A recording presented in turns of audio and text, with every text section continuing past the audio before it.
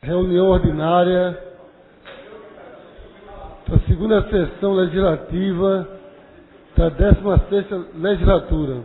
Convido o primeiro secretário,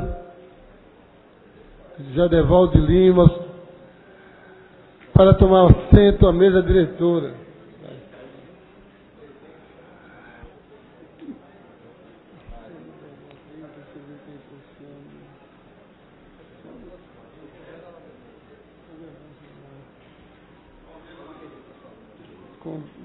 Convido o vereador Alfredo Santana para me secretariar. Informo que essa sessão está sendo transmitida pela TV Web no endereço www.recife.pleg.pr. Senhor presidente,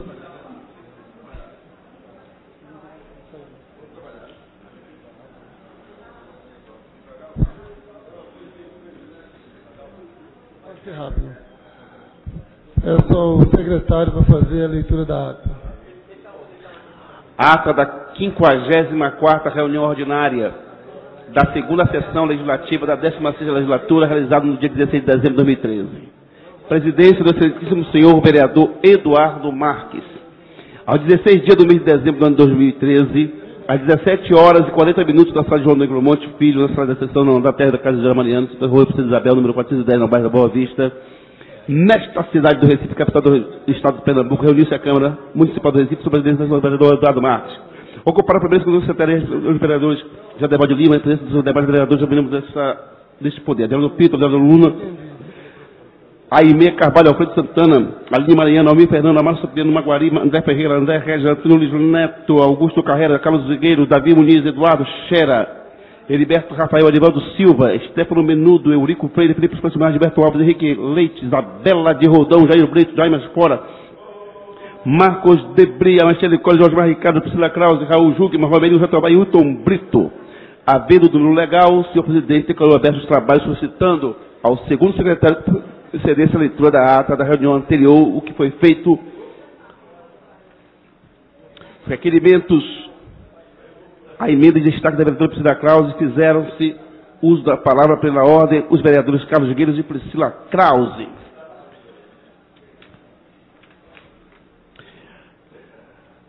Não havendo número regimental, o senhor presidente encerrou a presente reunião, convocando a casa para se reunir amanhã, terça-feira, 17 de dezembro de 2013, às 10 horas, em caráter solene, no local de costume, e declarou encerrada a presente reunião, da qual foi lavrada a presente ata, que depois de lida e aprovada, vai assinada por quem dê direito. Feita a leitura da ata, senhor presidente.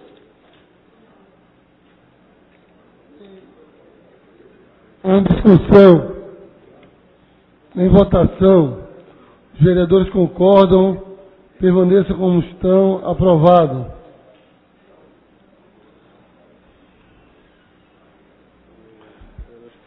Leitura do expediente, primeiro secretário.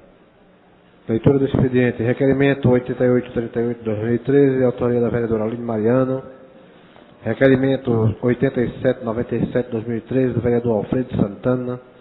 Requerimento 8798 de 2013, do vereador Alfredo Santana, e o requerimento 8799 de 2013, do vereador Alfredo Santana. Feito a leitura do expediente, senhor presidente.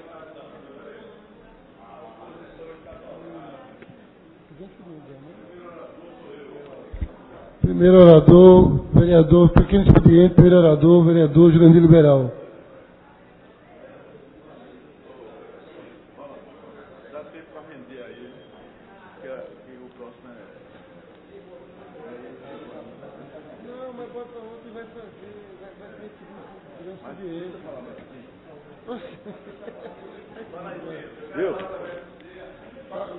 Senhor presidente, senhores vereadores, senhoras vereadoras, eu, essa como uma das últimas reuniões do final do ano, eu queria primeiro cumprimentar os novos colegas, desejar um Feliz Natal e um próximo 2014, Mas queria aproveitar esse momento final de ano também fazer algumas cobranças e alguns registros.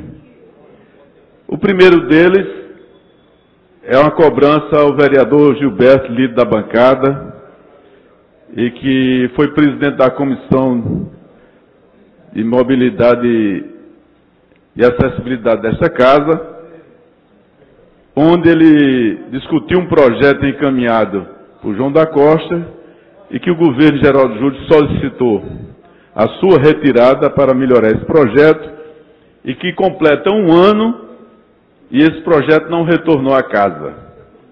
Então, isso é uma cobrança porque o plano de mobilidade e acessibilidade é complemento ao plano diretor da cidade do Recife. Nós votamos o plano diretor em 2008.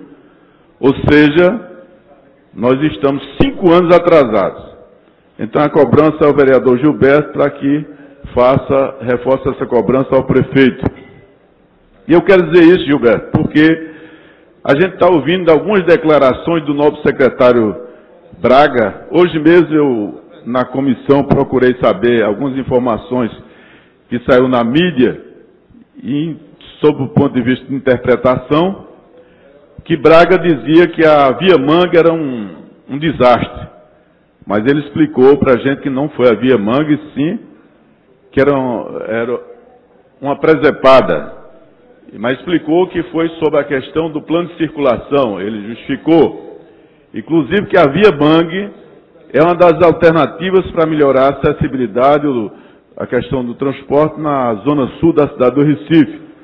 São oferecidas mais duas pistas, ou seja, mais quatro pistas, o que significa que você pode ter como alternativa ali para o veículo passeio, dando a chance na Domingos Ferreira uma das faixas ser exclusiva para ônibus.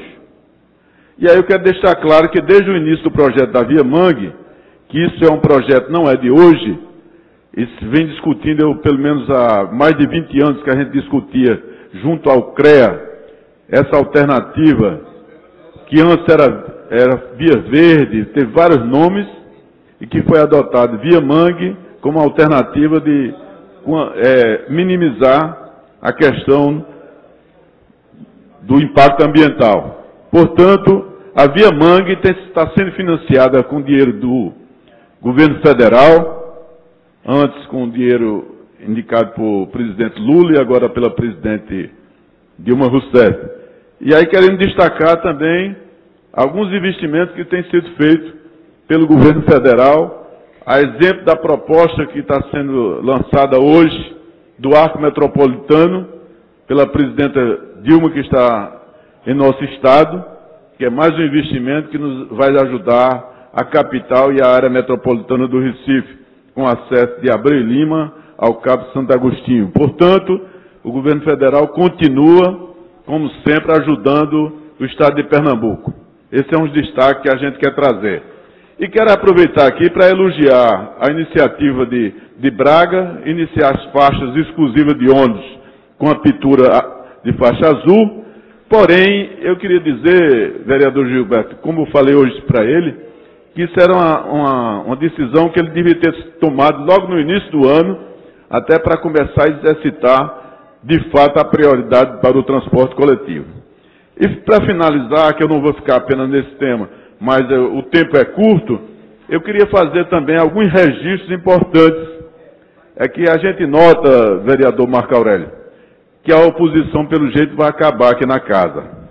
É, primeiro, a, a gente vê a foto do vereador que não está aqui, vereador Raul Jugman, está uma foto até bonita aí, ele está muito bem apresentado junto ao governo do Estado, é, já nessa aliança do PPS, já tem a aliança aí da vereadora é, Aline Mariano, que é a principal líder da oposição, Gondre já vai ficar junto do, PSB.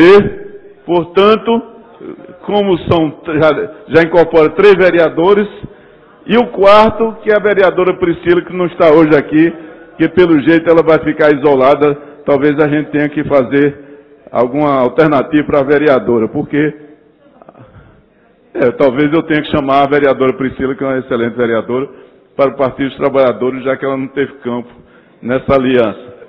Portanto, portanto, eu queria aproveitar esse final de ano. Deve ser diferente, viu, vereador Marco Aurélio? No próximo ano, como é que a gente vai assistir os debates nessa casa. É uma pena, viu, vereadora Aline, Vossa Excelência tem exercido uma posição com muita eficiência, mas vai ser uma boa base do governo, talvez a vice-líder do governo, junto com o vereador Gilberto. Mas eu quero, de antemão, agradecer, vereador Luiz Eustáquio, presidente dessa, mesa, é, no sentido de ter é, dado tempo suficiente para que a gente pudesse concluir, mas, de fato, destacar que foi um ano bastante produtivo para essa casa e espero que no próximo ano a gente continue um bom debate. É uma pena que a gente está perdendo vários quadros da oposição. Vereador Geraldo Pinto. Pessoal, secretário para assumir a.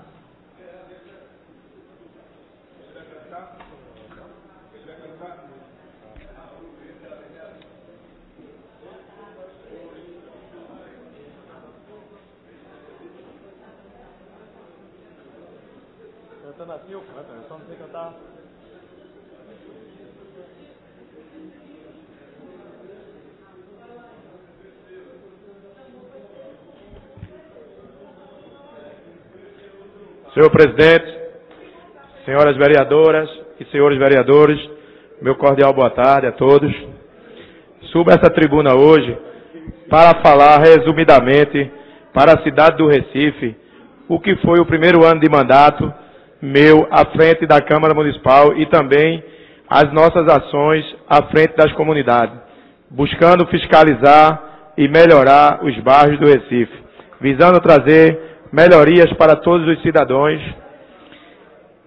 Para começar, queria agradecer algumas autoridades e parabenizar os moradores da Vila Santa Luzia e adjacências pela trigésima festa de, da Santa Luzia, que transcorreu com muita alegria e paz. Então queria aqui deixar o meu agradecimento à Polícia Militar e à Polícia Civil de Pernambuco, à Prefeitura da cidade do Recife, à Fundação de Cultura e ao secretário de Turismo, Felipe Carreras. Queria repassar também o agradecimento da Igreja da Torre ao apoio do deputado Zé Maurício para a realização das festividades deste ano. Por fim, e também, não muito importante, as pessoas que colaboraram ativamente neste processo de organização da festa. O amigo Everaldo Queiroz, diretor do campo do Bueirão, o diácono Teixeira, da Igreja da Torre, e a responsável pelo Parque Infantil, senhor Ivaldo. Neste ano tivemos muitas ações e principalmente fiscalizações nos bairros, observando serviços públicos, ofertando à população mais carente de nossa cidade. Como resultado disto, protocolamos 259 requerimentos, apresentamos 10 projetos de lei no plenário desta casa, que por falar nisto, gostaria de frisar, participei de todas as sessões legislativas, sem faltar nenhuma, do corrente ano, participei ainda neste primeiro ano de mandato da Comissão de Ética Parlamentar da Casa e também da Comissão Especial de Reforma da Câmara, que, que muito me alegra a expectativa de um concurso público premiando a meritocracia. Muitas lutas ainda estão em batalha. Só para citar algumas, como o recapeamento da rua Secudino Carneiro, no qual foi tema de três discursos meus aqui neste plenário e que continua da mesma forma. Outra situação, como a volta da farmácia popular, a unidade de saúde da Emoci Krause, que faz os cidadãos ficarem uma longa distância de uma central de distribuição de remédio. Enfim, são várias situações e sei também que outras batalhas virão e estarei aqui aberto e pronto para ir junto às autoridades competentes cobrar soluções efetivas. Por fim, queria deixar meus votos de confraternizações a todos os funcionários desta Casa Legislativa, ao pessoal da Guarda Municipal, às pessoas da limpeza, os amigos do Legislativo e dos anexos, que prestam assistência aqui à sede e aos amigos vereadores. Queria dar as boas festas e desejar uma reflexão neste final de ano, uma reflexão nesse final de ano. Contem comigo para fazer um 2014 ainda melhor. Muito obrigado, presidente, e feliz ano novo para todos. E a festa ontem foi um sucesso, viu? Vários cantores de primeira. Obrigado, vereador. Próximo vereador, vereador André Regis. Presidente, pela ordem eu fui citado. Cinco minutos. Eu fui citado. Pois não, vereador. Vereador Jurandir Liberal, o senhor permite?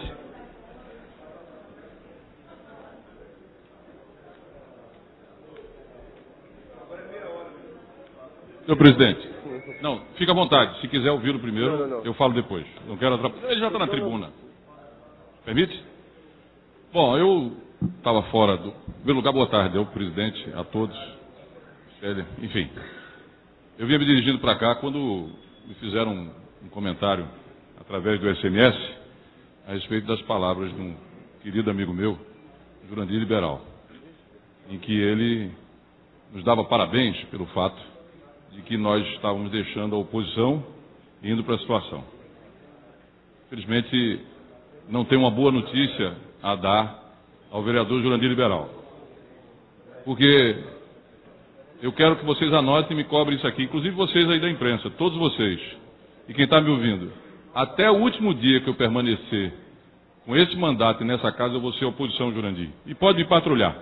Pode me patrulhar. Eu vou estar na oposição. Tá certo? E não por qualquer tipo de maniqueísmo, não por qualquer tipo, Isabela, de má vontade, e muito menos por personalismo. Pelo contrário, desejo que o prefeito vá bem, seja bom para a cidade, seja bom para. E não tem nenhum problema com isso.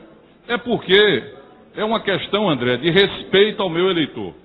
O meu eleitor, Cheira, me colocou na oposição. E é lá o meu lugar. É de lá que eu posso criticamente ajudar a atual gestão. É de lá que eu tenho respeito e posso contribuir com a casa. Então lá é o meu lugar. E de lá eu não vou sair. Tá certo? Quanto a isso, eu faço questão de dizer com humildade, não há soberba aqui. Tá certo? Não há nenhum ar desafiador. Não há nada disso. Acho da maior importância o fato do governador Eduardo Campos vir para a oposição. É ele que veio para o nosso lado. Eu não fui para o governo Lula. Eu não fui para o governo Dilma. É o governador que veio para o lado de cá. Não. É preciso deixar claro isso. Agora, quero dizer que o papel do governador é importantíssimo. E eu reconheço isso.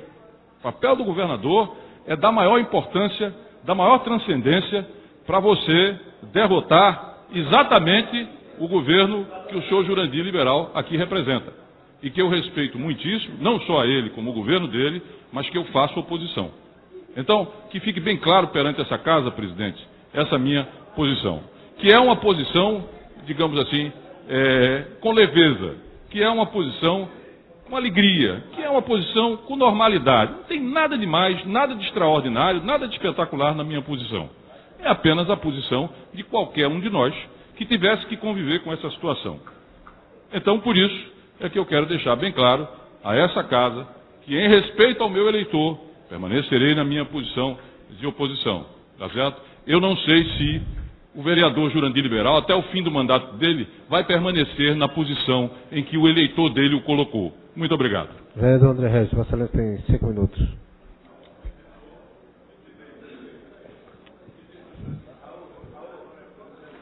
Presidente.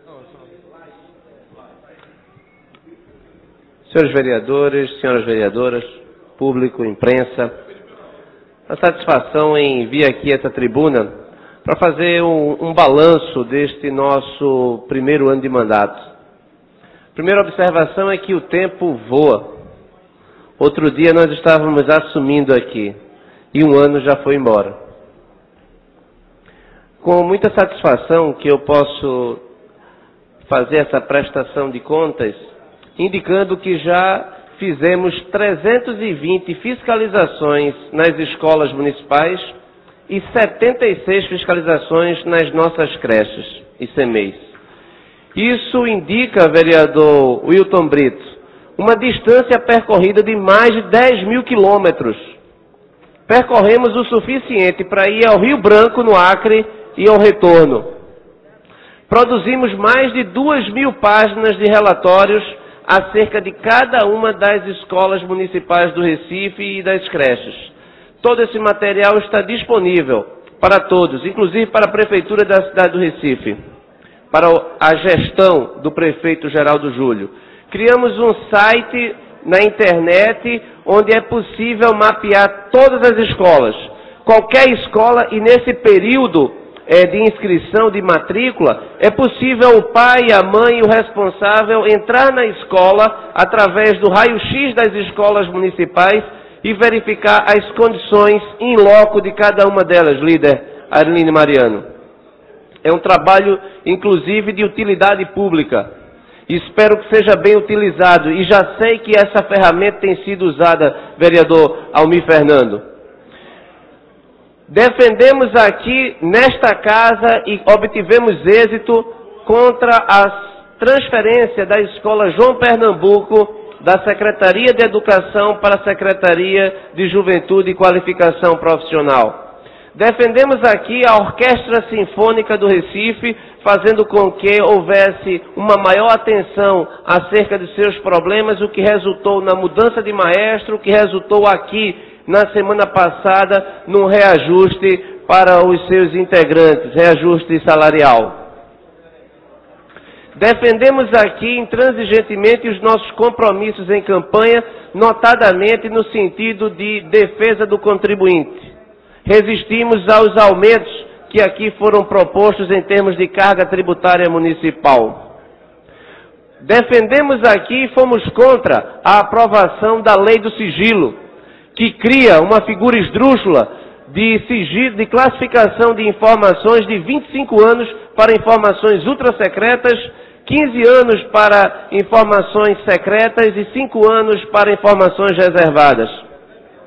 Lamentavelmente, esta casa aprovou, mas resistimos. E entramos com uma arguição de descumprimento de preceito fundamental no Supremo Tribunal Federal. A oposição teve esta determinação de impetrar a ação e a ação está pendente de julgamento sobre a relatoria do ministro Celso Melo. Resistimos aqui à cobrança é, a, em protesto e depois em via de cartó, é, cartório, seguido de negativação do Serasa dos contribuintes, dos cidadãos que estivessem com, de, com débitos tributários ou não tributários com a Prefeitura da cidade do Recife. A nossa participação foi fundamental para que houvesse um recuo da Prefeitura da cidade do Recife, e se não obtivemos uma vitória completa, pelo menos a Prefeitura teve a sensatez de estabelecer um limite mínimo para que houvesse a negativação do cidadão em cartório de protesto. Resistimos aqui à perda de autonomia desta casa, que lamentavelmente aconteceu ontem na abertura do veto, da votação do veto são marcas deste nosso primeiro ano de mandato. Mas as conquistas que nós tivemos, eu gostaria de agradecer a todos que nos ajudaram, a todos aqueles que confiaram no trabalho e em especial a casa, que sempre se prontificou, independentemente de posição de governo de oposição, no sentido da defesa das grandes causas comuns, notadamente na área da educação. Senhor presidente, muito obrigado. Senhores vereadores, vereadoras, obrigado. Não, vereador Almir Fernando. Pela ordem, senhor presidente. Vossa Excelência tem cinco minutos. Senhor presidente, eu gostaria de pedir um minuto de silêncio pelo falecimento do senhor Gilvan Marinho, que é filho da Laíusa Moura, que é aqui do nosso cerimonial, aqui da casa. Não, o pedido de Vossa Excelência está deferido. Após a, o pronunciamento do vereador, a gente. Boa tarde. Boa tarde, presidente José Valdo Lima, senhoras vereadoras, senhores vereadores, a todas e a todos presentes, Hélio da Vabiraba, que se encontra hoje aqui nessa sessão plenária, e a todas que se encontram. Boa tarde. Vereador André Regis, sou muito defensor da educação aqui no município, eu vim aqui repercutir uma ação importante na educação, não pelo governo municipal, mas por uma professora lá da escola Otávio de Miralins, no antigo Alta Foice, hoje Alto Nossa Senhora de Fátima, e hoje, seu vereador, vai ser lançado no Shopping Center do Rio Mar, Shopping Rio Mar, o livro Sem Pé, Sem Cabeça, que reúne 15 contos e mais um documentário é, de 40 minutos lá no Rio, Rio Mar, aqui na cidade do Recife, de uma professora que reuniu os alunos naquela escola que eu citei aqui anteriormente e conseguiu criar esse livro. E não foi uma coisa fácil para se conseguir criar esse livro, vereadora Isabela de Rodão. Para que a professora conseguisse, junto com os alunos, 31 alunos desta escola lá no Nossa de Fátima, ela teve que construir isso durante três anos. Começou a, a ensinar esses, alunos no segundo ano do ensino fundamental e percebeu que aqueles alunos, infelizmente, não tinham condições de não saber ler nem escrever. E ela começou um trabalho contando histórias, é, brincando com as crianças, levando para museu, fazendo danças, músicas, tentando envolver as crianças para que elas tivessem é, a importância da leitura e da escrita na escola. E a partir daí, é, nesse, no primeiro ano, ela conseguiu fazer que isso acontecesse, é, trazendo os alunos a se interessar pela leitura e pela escrita.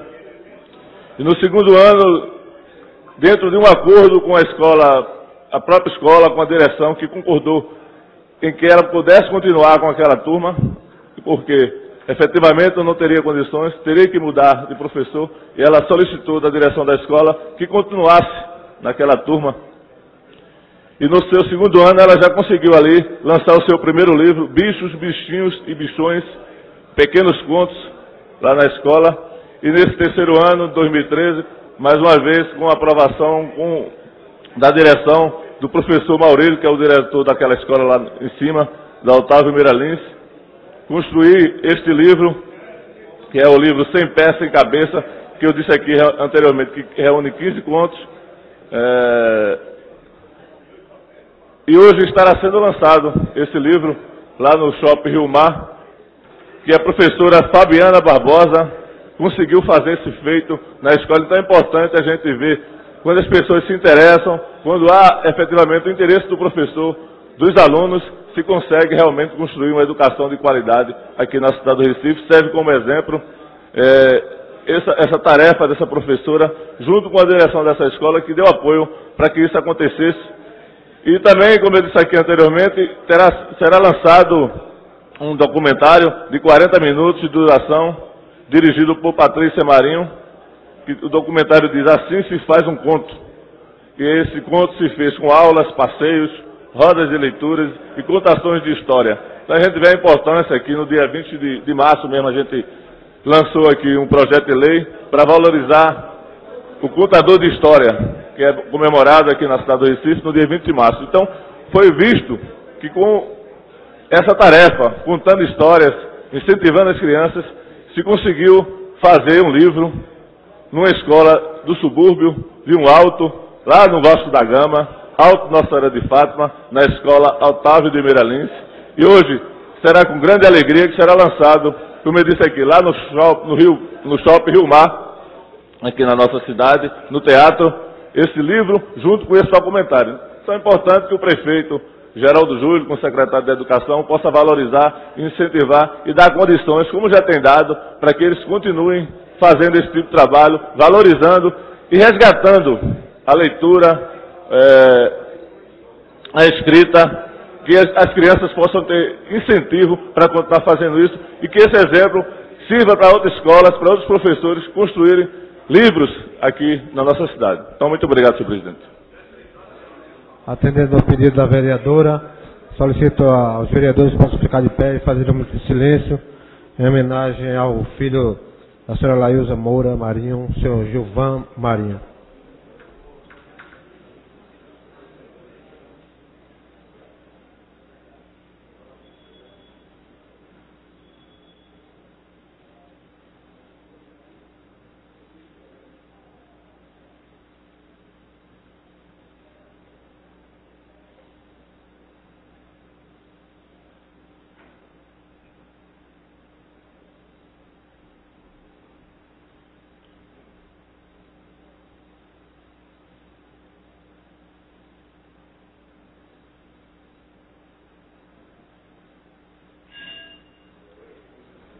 Vereador Jaime Asfora. Vossa Excelência tem cinco minutos. Senhor presidente. Senhor presidente, pela ordem. Pois não, vereador, pela ordem. Eu, eu gostaria eh, de registrar os meus parabéns ao Hospital Infantil Jorge de Medeiros. Não sei se os senhores vereadores conhecem. Que completou 50 anos em ontem, na pessoa da minha tia, Solange Almeida, que é médica acionista do hospital. Um hospital que, como eu falei, ao longo desses 50 anos, vem tratando das crianças e adolescentes desta cidade. Com registro. Obrigado, senhor presidente. Senhor presidente, senhoras vereadoras, senhores vereadores, eu venho a essa tribuna hoje parabenizar o governo Geraldo Júlio pelo envio a essa casa do projeto de lei que cria o Conselho eh, em Defesa dos Direitos da População LGBT. Nós já temos uma série de conselhos funcionando com a participação da sociedade organizada, paritários, com a participação do Estado, mas faltava o Conselho em Defesa dos Direitos, eh, em resumo, em defesa da liberdade e da igualdade para a população LGBT.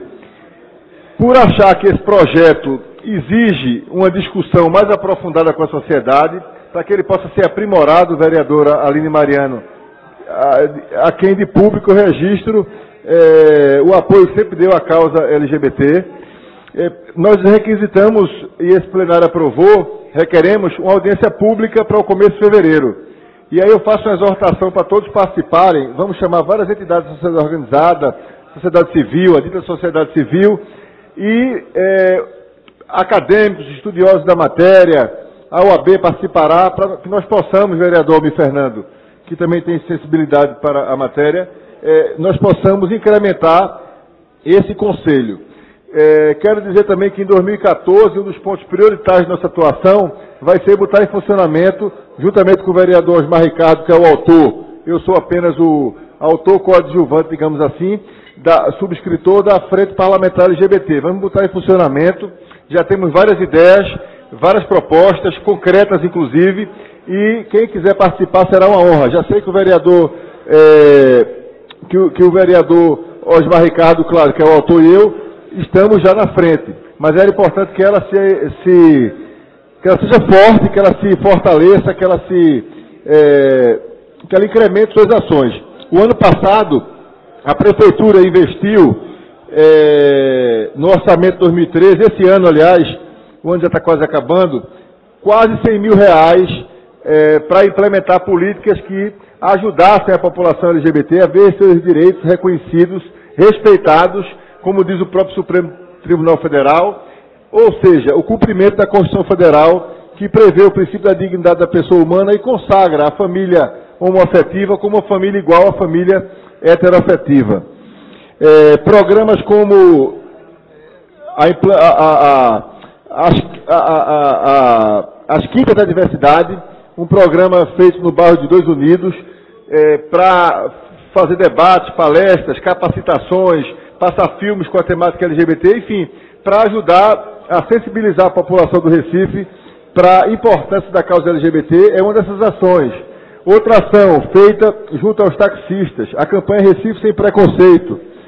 E outras ações, todas no sentido de, da inclusão, no sentido de tornar a GLOS, que é a Gerência de Livre Orientação Sexual da Prefeitura, um instrumento, uma instituição, uma instância, um órgão apto a receber também denúncias de violações de direitos humanos da popula- população LGBT, denúncias de maus tratos, de eh, torturas, de crimes que possam ser eh, encaminhados com apoio da Prefeitura eh, ao Ministério Público e a instâncias como tais, de maneira que em 2013 a Prefeitura avançou nisso, mas em 2014 ela vai avançar mais. Por quê? E aí eu parabenizo o Executivo Municipal por isso, o orçamento municipal para 2014 prevê 3 milhões, é, 3 mil, mais de 3 milhões de reais para a área de direitos humanos. A área de direitos humanos, naturalmente, não é só a área LGBT. Tem a pessoa idosa, tem, evidentemente, é, o enfrentamento a questões decorrentes do racismo e etc. As pessoas com deficiência, mas tem sete, sete eixos, dentre 26 que compõem o leque de direitos humanos, sete eixos voltados para a população LGBT. Isso é importante. 350 mil com recursos próprios e mais de 3 milhões é, que virão através de, de convênios.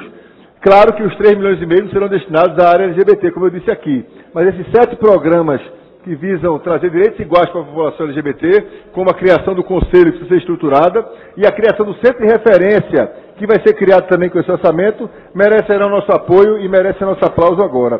O centro de referência vai ser uma instância para, sobretudo, dar acolhimento a cidadãos homossexuais vítimas é, de discriminações, agressões, humilhações e outra coisa importante para terminar é a luta que nós procuraremos empreender aqui pela implementação da lei municipal que prevê que bares e restaurantes não podem discriminar ninguém, humilhar ninguém, ou maltratar ninguém, ou tratar diferentemente ninguém por causa da sua orientação sexual. Então, eu parabenizo a gestão geral do Júlio por isso, por esse avanço também na área de direitos humanos e na defesa da sociedade mais livre e mais igualitária. Muito obrigado. Vereadora Michele Colles, a senhora tem cinco minutos.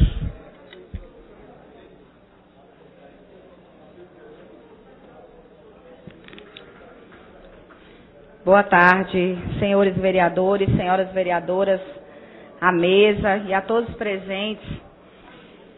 Eu gostaria de começar a minha fala nessa tarde com o versículo da palavra de Deus. Como hoje praticamente nós já estamos em clima de despedida para o próximo ano, e diz assim: O que darei eu ao Senhor por todos os benefícios que ele me tem feito? Salmo 116, versículo 12. Nós queremos, eu sei que, eu creio que todos aqui agradecer a Deus por ter concluído mais um ano, estar concluindo com saúde, a família em paz, né? Então, nós temos motivos para agradecer a Deus, principalmente porque nesse ano nós podemos aqui ser instrumento para abençoar muitas famílias, muitas as famílias é, recifenses. Nós, como parlamentares, nós temos esse instrumento na nossa mão. Se nós soubermos utilizar bem é, e o nosso chamado, a nossa vocação, o porquê nós estarmos aqui nessa casa legislativa, com certeza cada dia nós seremos um canal de bênção para abençoar muitas vidas. Então eu quero começar agradecendo a Deus por esse ano e também pedindo que já no ano de 2014 ele possa estar também continuar conosco, nos abençoando. Mas eu gostaria ainda de fazer um breve balanço nesse meu primeiro ano de mandato, de 2013, no qual eu apresentei 1.130 proposições, sendo 48 projetos de lei ordinária, seis projetos de resolução, uma emenda à lei orgânica e 1.075 requerimentos. Instrumento o qual considero muito importante, porque é uma forma de nós darmos conhecimento ao executivo das necessidades das comunidades às quais nós estamos diariamente junto com a população. Também é, já tem seis leis sancionadas, duas aguardando a ser sancionada pelo prefeito. E como eu tive 10.589 votos, o meu mandato é pautado pelo povo recifense que depositou em mim a sua confiança. Então eu gostaria mais uma vez de agradecer aos meus eleitores também por ter acreditado no meu trabalho e por essa oportunidade de poder estar aqui hoje também prestando contas um pouco do que a gente tem feito. Eu queria aproveitar a oportunidade também para agradecer a todos os vereadores pelo coleguismo, dizer que eu tenho aprendido muito com vocês, que vocês têm sido muito importantes para mim, têm sido uma bênção na minha vida.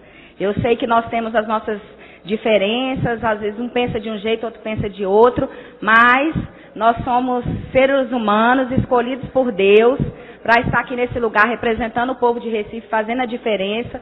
E aproveitar também pedir perdão se em algum momento eu não, não atendi às suas expectativas. Amém. Também gostaria de agradecer a todos os funcionários da casa, a toda a imprensa interna e externa também, que repercute o nosso trabalho, a toda a equipe do meu gabinete, a todos que têm contribuído e queria também é, dizer que eu tenho consciência e tenho dedicado o meu mandato com ações e apresentado projetos importantes para a população. Sou uma militante combativa na luta incansável por uma cidade livre das drogas, por isso é, eu sou uma representante desse segmento e também pela manutenção e fortalecimento dos valores familiares e vou continuar aqui defendendo esses valores, esses princípios familiares. É, às vezes dizendo assim, doa quem doer, mas eu não abro mão de estar aqui cumprindo esse meu chamado. E agradecer mais uma vez a oportunidade de poder estar aqui, a todos os recifenses, ao prefeito Geraldo Júlio, parabenizar. Sei que ele fez muito esse ano e ainda tem muito por fazer. E dizer que no ano que vem nós vamos estar aqui para juntos continuarmos a fazer com que a nossa cidade cada vez mais possa crescer e para que a nossa Veneza brasileira seja reconhecida em todo o mundo como uma cidade é, maravilhosa para se viver. Muito obrigada a todos, que Deus abençoe e uma boa tarde. Vereador Felipe Francis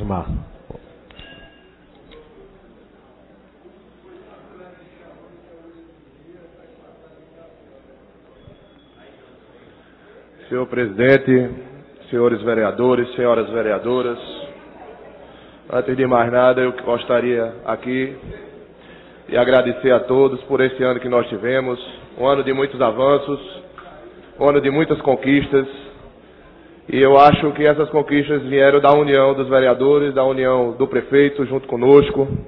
Aqui a gente, durante esse ano, Gilberto Alves, tivemos grandes avanços. Eu gostaria de destacar dois que eu considero emblemáticos na nossa, na nossa casa, que foi o projeto de ontem, o, a aprovação do voto aberto, que eu acho um grande avanço para a democracia do nosso país, um grande marco.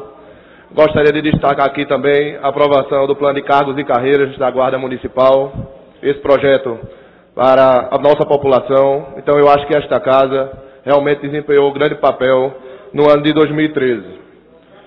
Gostaria aqui também de falar da alegria de ter participado do governo Geraldo Júlio, um governo que, ao longo deste ano, trouxe grandes avanços, tanto na área da saúde, como na área da educação, como na área da, da vigilância, da segurança, áreas que eu considero muito importantes na cidade do Recife. E hoje venho a essa tribuna para falar de um tema que considero tão quanto importante quanto esse, que é a mobilidade urbana, vereador Almir Fernando.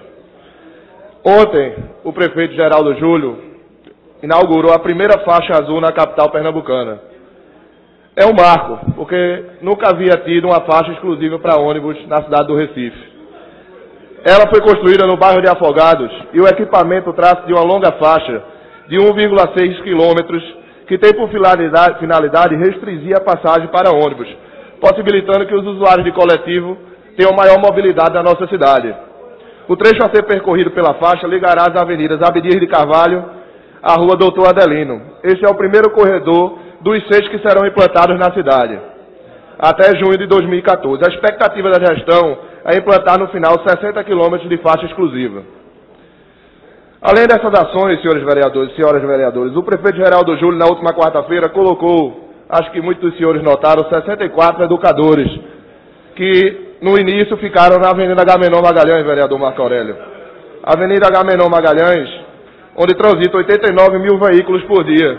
E a gente sabe das dificuldades que o trânsito gera. E próximo ano, o prefeito Geraldo Júlio terá trazido mais de 372 agentes educadores no nosso trânsito. Acho também uma intervenção muito importante. Mas não é só com infraestrutura e contratação de pessoal que a atual gestão está preocupada. O prefeito Geraldo Júlio, sensibilizado com o pleito dos agentes de trânsito da CPTU, encaminhou, como eu já havia dito, o plano de cargos e carreiras desses profissionais, que é um grande avanço e uma valorização muito, muito grande dessas pessoas.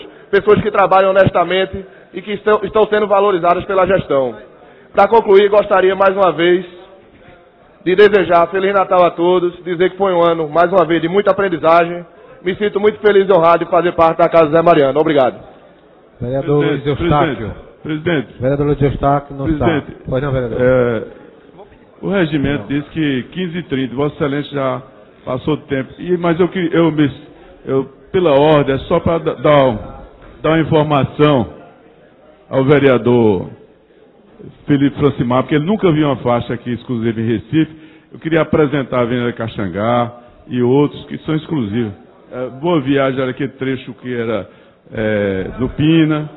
Então eu queria só apresentar. Talvez pela cor, pela cor azul ele não tinha visto, mas era, era exclusivo.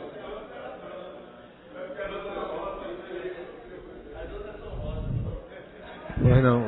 Para outro citado, só para. taxa azul. Eu acho que o vereador Jurandir Liberal não entendeu a parte verbal da, do pronunciamento. Vereador, vereador Jurandir Liberal, nós, na realidade, nós na realidade estendemos um pouco o horário, porque a sessão começou uns 15 minutos, praticamente atrasado, e alguns vereadores sensibilizados pelo final do ano aí queriam dar suas mensagens, então a mesa resolveu prolongar um pouco, uns 10 a 15 minutos do horário, para que todos pudessem falar. Tá certo? Eu gostaria de convidar o vereador Augusto Carreiras para que possa assumir aqui a, a secretaria, para que a gente possamos dar continuidade à ordem do dia.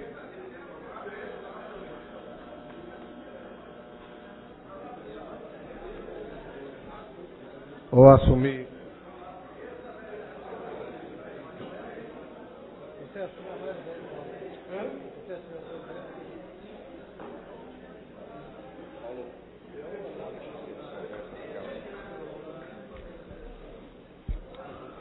Pessoal,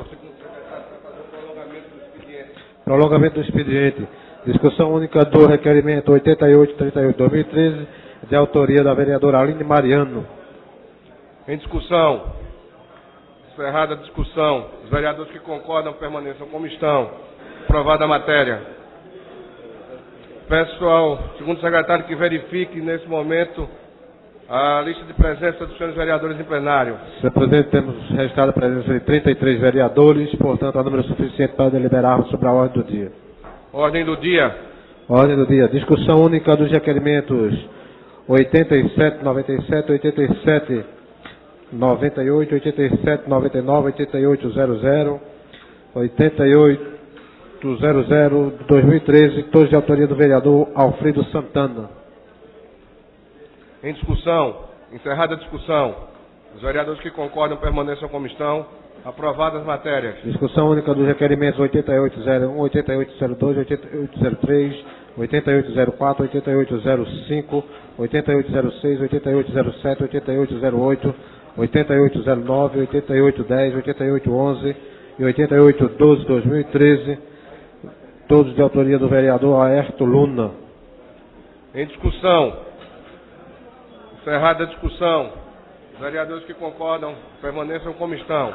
Aprovadas as matérias. Discussão única dos requerimentos 88, 13, 88, 14, 88, 15, 88, 16, 88, 17, 88, 18, 88, 19, 88, 20, 88, 21, 88, 22, 88, 23, 88, 24, 88, 46, 88, 47, 88, 48, 88, 49, 88, 50, 88, 51, 88, 52, 88, 53, 88, 54 e 88, 55, 2013, todos de autoria da vereadora Michele Collins. Em discussão. Encerrada a discussão. Os vereadores que concordam permaneçam como estão. Aprovadas as matérias. Discussão única dos requerimentos 88, 25, 88, 26, 88, 27, 88, 28, 88, 29, 88, 30, 88, 31, 88, 32, 88, 33 de 2013, todos de autoria do vereador Felipe Francis Mar. Em discussão. Encerrada a discussão. Os vereadores que concordam permaneçam como estão. Aprovada a matéria. Discussão única dos requerimentos 88, 34 e 88, 35, 2013, todos de autoria do vereador Erivaldo da Silva. Em discussão. Encerrada a discussão. Os vereadores que concordam permaneçam como estão. Aprovada a matéria. Discussão única Senhor do requerimento. Eu, é, pela ordem, Pois não, vereador. nós vamos entrar agora na pauta de todos os projetos que têm quórum qualificado. Eu queria propor, Vossa Excelência, depois da leitura e terminada o fase de discussão, quando entrasse na votação, fizesse em bloco, porque dos de segunda discussão, porque eu acho que não vai ter ninguém contrário. Eu mesmo que votei contrário ontem, mas na segunda discussão eu vou votar favorável a todos eles. Discussão única do requerimento 8836, 2013, de autoria do vereador Felipe Francis Mar. Em discussão. Encerrada a discussão. Os vereadores que concordam permaneçam como estão. Aprovada a matéria. Discussão única do requerimento 8837-2013, de autoria da vereadora Aline Mariano. Em discussão. Encerrada a discussão. Os vereadores que concordam permaneçam como estão. Aprovada a matéria. Discussão única do requerimento 8840-2013, de autoria do vereador Heriberto Rafael. Em discussão. Encerrada a discussão.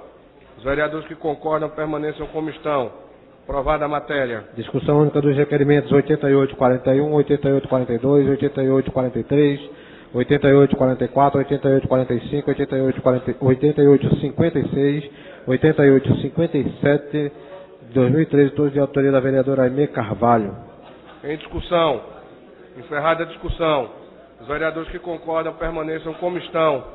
Aprovada a matéria. Discussão única do requerimento 8858, 88 59, 2013, todos de autoria do vereador Eurico Freire. Em discussão. Encerrada a discussão.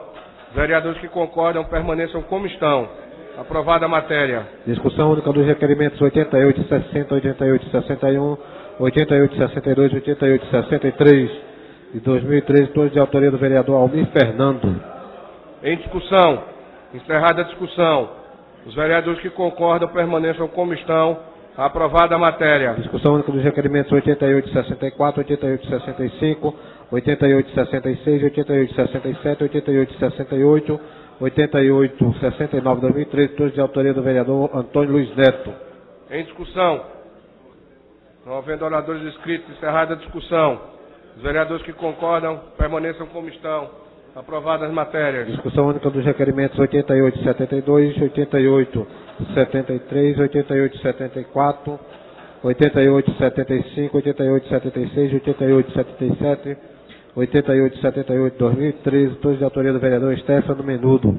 Em discussão. Encerrada a discussão. Os vereadores que concordam permaneçam como estão. Aprovadas as matérias. Discussão única dos requerimentos 88, 79, 88, 80, 2013, todos de autoria do vereador Almir Fernando. Em discussão. Encerrada a discussão. Os vereadores que concordam permaneçam como estão. Aprovada a matéria. Discussão única do requerimento 88, 81, 2003, de autoria do vereador Aderaldo Pinto. Em discussão. Encerrada a discussão. Os vereadores que concordam permaneçam como estão. Aprovada a matéria. Discussão única do requerimento 88, 82, 2003, de autoria do vereador Jaime Asfora. Em discussão. Encerrada a discussão. Os vereadores que concordam permaneçam como estão. Aprovada a matéria. Discussão única dos requerimentos 88, 83, 88, 84, 88, 85, 2013, todos de autoria do vereador Almir Fernando. Em discussão. Encerrada a discussão. Os vereadores que concordam permaneçam como estão. Aprovada a matéria. Segunda discussão, maioria absoluta dos pareceres 9.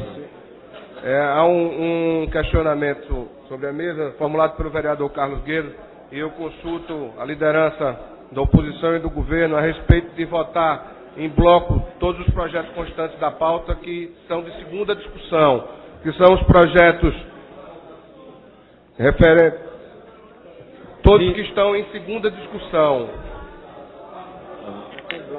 Apenas Sim, senhor presidente, nós concordamos. Sim, pres sim, presidente. Será feita a leitura dos projetos para se colocar em discussão e votação em bloco os projetos que constam da pauta em segunda discussão.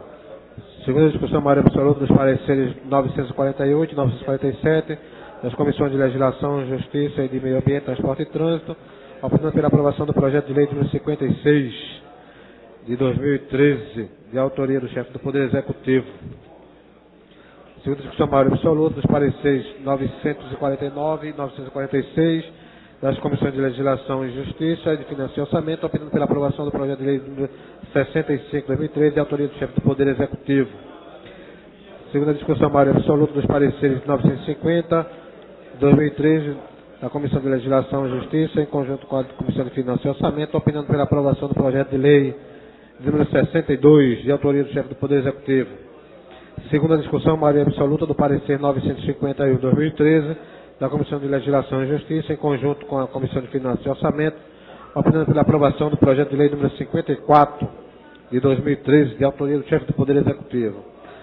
Segunda discussão, maioria absoluta, do parecer 952, Em 2013, da Comissão de Legislação e Justiça, em conjunto com a Comissão de Finanças e Orçamento, opinando pela aprovação do projeto de lei número 69, de autoria do chefe do Poder Executivo. Feita a leitura, senhor presidente. Em discussão. Encerrada a discussão. Solicita o líder do governo e o líder da oposição para fazer o um encaminhamento a respeito da votação dos projetos. Caminho voto sim, senhor presidente. Está aberto o painel eletrônico para votação, senhores vereadores.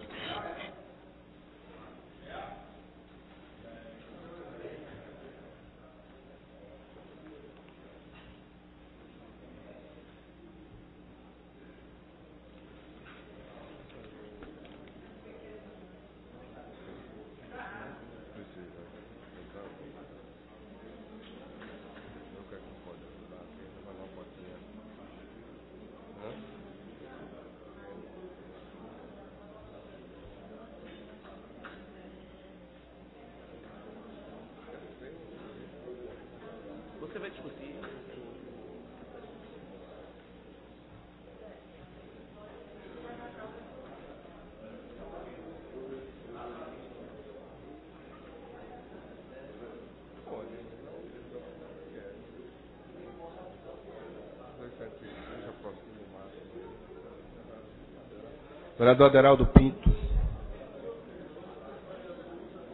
Presidente, estou querendo votar aqui.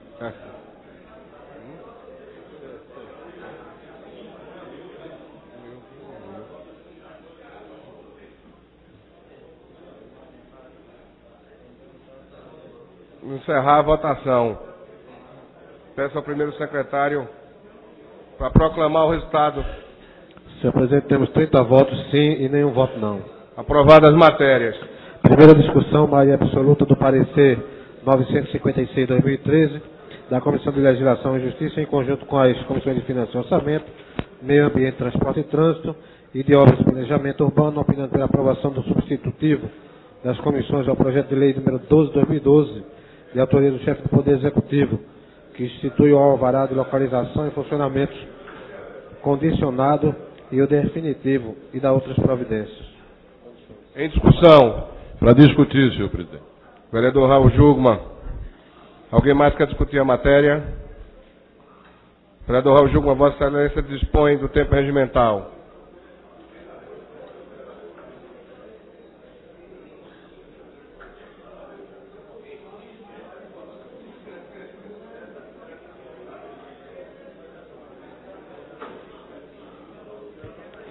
Senhor presidente, senhoras e senhores vereadores aqui presentes, nós estamos encerrando o ano, seguramente, pelo menos ao meu juízo, com a votação de uma matéria que de todas que nós votamos aqui durante o ano, talvez a que tenha maior impacto sobre o ordenamento da nossa capital, da cidade do Recife.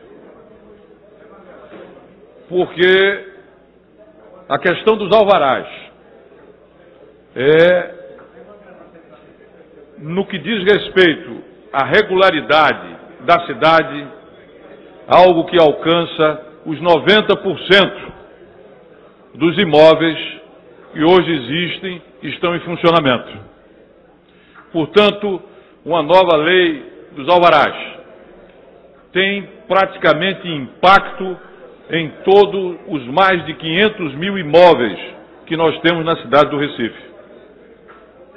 Por isso mesmo, é que nós lamentamos o fato de que não tivemos uma audiência pública para discutir a matéria, o que se fazia extremamente necessário. Um tema como esse era um tema para ser maturado e discutido, talvez para além de uma audiência pública. Entretanto, o Executivo, que fez uma série de consultas, não nos deu tempo. Nós, inclusive, eu e o vereador Romerinho Jatobá, tínhamos acertado para amanhã a realização, Eurico, de uma audiência pública para discutir a lei dos alvarás. Entretanto, por óbvio, André, por perda de objeto, não há mais o que discutir amanhã. Então nós iniciamos, Almir, uma série de gestões junto ao Executivo, de um lado, fazendo ver o nosso desconforto de ver uma lei com essa amplitude, com esse impacto, com essa significação, sem que se pusesse debater, sem que o processo legislativo pudesse ser observado, como deveria ter sido.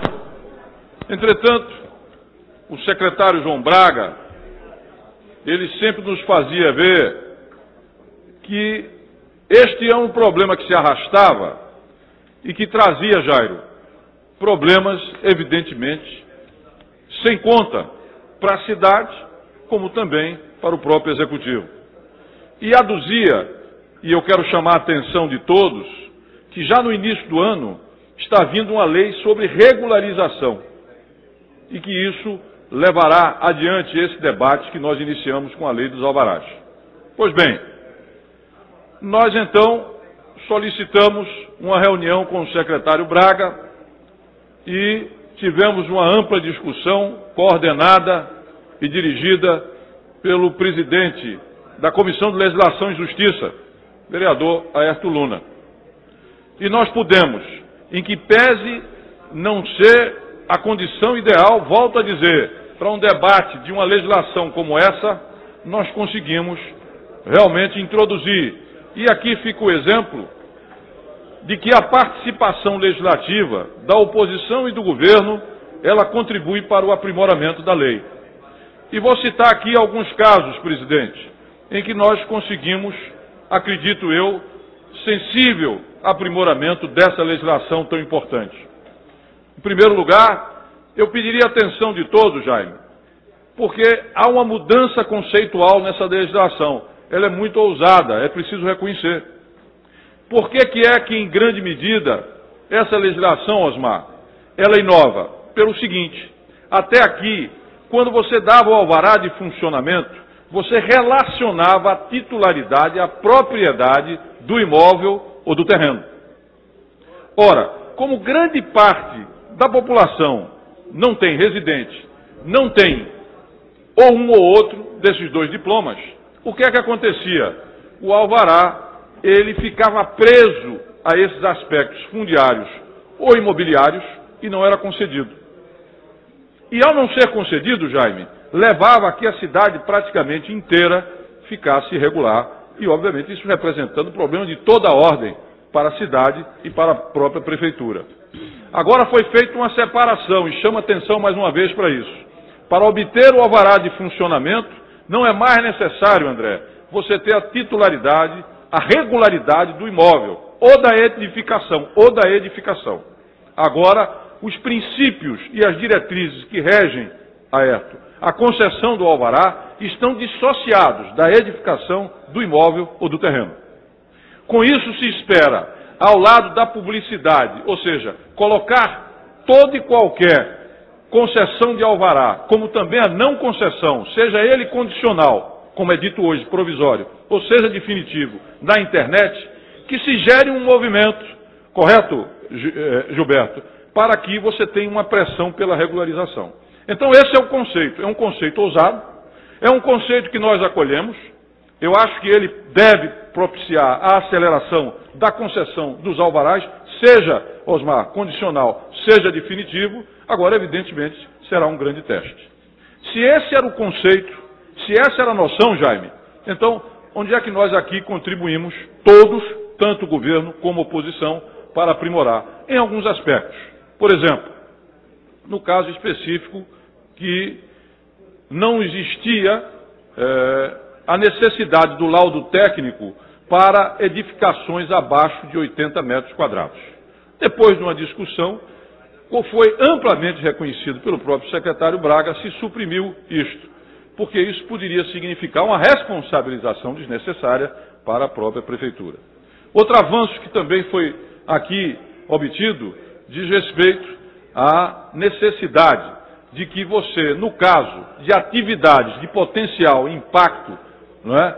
de perturbação, de distúrbios, etc., etc., ou de incômodo, melhor dizendo, que é a PGI, e que tinha, de certa forma, sido bastante afrouxado os seus critérios, eles foram novamente incorporados, como também no que diz respeito para as áreas de proteção, unidades de proteção, para determinados tipos de identificação, que antes não contavam com um conjunto de exigências que eram necessárias e que, inclusive, faziam parte da legislação estadual e federal, e que também foi devidamente incorporado. Mas eu quero ouvir, não vou me prolongar, eu quero ouvir porque tenho tal pleia de, de brilhantes oradores e vereadores nos aguardando, que eu faço questão de ouvi-los. Antes apenas quero dizer logo, dizer logo, que talvez, André, Gilberto e Priscila, a mais importante das mudanças introduzidas, e foi consensual, é de que essa legislação, presidente, ela será revisada no segundo semestre de 2014. Ou seja, esta casa terá a oportunidade, por acordo, em audiência pública, em agosto de 2014, receber um relatório da Secretaria de Mobilidade a respeito do funcionamento da nova legislação e a oportunidade de rever os fundamentos, como também o propósito e os dispositivos da Lei de Alvará. Então, eu diria que este acordo, em particular, Priscila, ele nos resguarda, não é, presidente Aerto, para que a gente possa, vendo o resultado dessa nova legislação, que será revisada para o ano, tomar as medidas, evidentemente discutindo e a receber o relatório do próprio Executivo. Ouço com prazer agora ela que é uma das mais brilhantes e completas vereadoras que nós temos aqui nessa casa, a minha querida Priscila Causa. Por favor. Vereador é, Raul Jugman, essa, essa discussão, esse debate começou com todos nós muito preocupados. E principalmente Vossa Excelência, enfim, um conjunto de vereadores muito preocupados por conta da carência de debate e do assodamento da gestão em aprovar essa matéria, essa lei que tem grandes qualidades. E eu acho que Vossa Excelência colocou muito bem aí quando, quando afirma que esta nova legislação ela inverte, ela muda completamente a lógica da concessão de alvará na cidade do Recife, criando uma, um compartilhamento, uma divisão de responsabilidades muito mais justa entre poder público e, o, e a sociedade, especificamente o proprietário do estabelecimento, enfim, aquele que procura o, o, alvará de funcionamento, porque isso é uma coisa muito séria. E depois que acontecem os problemas, não adianta dizer o poder público me, me concedeu um alvará de funcionamento, quando na verdade muitas vezes as consequências elas são é, irremediáveis. Então, essa. E, e, aí vai precisar se criar uma nova cultura, tanto na administração pública, quanto principalmente na sociedade, dessa nova responsabilidade, ou dessa nova forma de encarar é, a concessão de alvará e a manutenção desse, desse alvará. Esse é o ponto positivo. Mas o porquê da nossa, da nossa preocupação, Vossa Excelência disse, eu poderia até ser dispensada de comentar, mas eu acho que, que devo fazer isso até como prevenção para, para outros casos. Existia, como eu falei, um assodamento muito grande do governo para que isso fosse é, aprovado logo, visto o, a situação que a cidade se encontra. É compreensível esse sentimento, e é compreensível, principalmente, esse sentimento de um secretário à frente da pasta que tem o perfil, como secretário João Braga, que é um perfil de, real, de uma pessoa proativa e de, quem, e de quem faz com que as coisas aconteçam ou procura isso. E esse instrumento era importante para ele e para a cidade. Acontece que, invariavelmente, todas as vezes que uma matéria chegou nesta casa e que não foi debatida e que não foi amplamente discutida com o conjunto de vereadores, oposição e governo, invariavelmente deu errado. Isso. E todas as vezes que isso, que essa discussão aconteceu, nós diminuímos muito a probabilidade de erro. Não que o erro não aconteça, ele acontece. Claro que acontece, mas a, a diminuição dessa probabilidade, ela é realmente relevante. Relevante. Tanto é que com três, com três horas e meia, mais ou menos, de discussão, hoje, nós conseguimos melhorar e muito, o conjunto de vereadores conseguiu melhorar e muito a proposta. Por que eu estou fazendo esse registro? Porque não são poucas as vezes que nós aqui, quando chega um, um projeto de lei, nós reclamamos pela celeridade do processo, de que as coisas precisam ser mais amadurecidas. invariavelmente, infelizmente, nós somos acusados de querer atrapalhar o processo. Quando, na verdade, esse não é um sentimento só da oposição, mas de vários vereadores de toda a casa. De toda a casa. Então fica o registro, fica o apelo para que se tenha cuidado e para que isso não se repita. Porque quem perde não é a oposição, quem perde não é o governo, porque precisou de mais 15, 20, 30 dias para para aprovar uma matéria. Quem perde, na verdade, é a população da cidade do Recife, é o cidadão recifense, porque acaba com uma, uma legislação que não faz jus às qualidades do serviço que o cidadão merece. Muito obrigado. Vereadora, me permita dizer que a senhora traduziu bem melhor do que eu o espírito da lei. E também da minha integral concordância a respeito de quando você, e eu chamaria atenção, Aline, quando você observa todo o devido processo legislativo, o resultado é sempre muito melhor. Quando você atropela, você tem cenas como nós tivemos aqui na semana passada. Mas, quando você chama para convergência, e todos aqui têm responsabilidade, está aí o produto. Nós temos um produto convergente, nós temos um produto que foi aprimorado, que já vinha com boas intenções e com boas propostas, mas que teve escoimado alguns dos seus defeitos. Ouço com prazer o nosso ombudsman, ex-presidente do OAB, estimado querido amigo, Jaime Asfora. Meu caro amigo Raul Jungmann, competente vereador dessa cidade, eu quero é, corroborar as palavras ditas por Vossa Excelência pela vereadora Priscila Krause, é, colocando sobre outro viés. Invariavelmente, quando a oposição se senta com a situação, ou seja, os 39 vereadores se debruçam é, com espíritos desarmados, procurando fazer o melhor, mesmo com pouco tempo, e eu reconheço é, o apelo da vereadora Priscila Kraus como legítimo e oportuno, dá certo. As coisas andam para melhor e a gente vai produzir. Essa é uma prova inconteste que a gente vai produzir uma lei boa para a cidade, uma lei avançada, como Vossa Excelência muito bem, é, como sempre, pontuou. E eu lembro aqui, é o que está na última revista Época, é capa da Época. É, a época dessa semana traz a máfia dos alvarás, uma matéria sobre a máfia dos alvarás. Esse projeto vai inibir uma fonte de corrupção que era é, é, a, que vem da produção ou da confecção ou da expedição ou é, da emissão de alvarás num sistema mal normatizado. Né? Ou alvarás inefetivos, ineficazes e permeados ou não com muita corrupção. Então, esse aspecto que Vossa Excelência ressaltou da transparência é fundamental, dentre outros aspectos que é, o vereador Raul Jungmann abordou sempre muito bem aqui, para evitar a corrupção, para diminuir a corrupção nessa, nessa seara. E isso é importante, porque é um passo na luta grande contra a corrupção. Muito obrigado.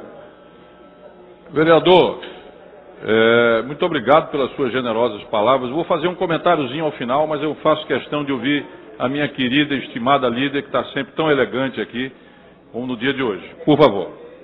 Vereador Raul Zugman, eu quero parabenizar Vossa Excelência Vossa Excelência, desde o primeiro momento, mostrou muita disposição, especialmente em conversar com quem mais interessa, que é com essa população que espera de fato que os alvarás seja algo amplamente discutido.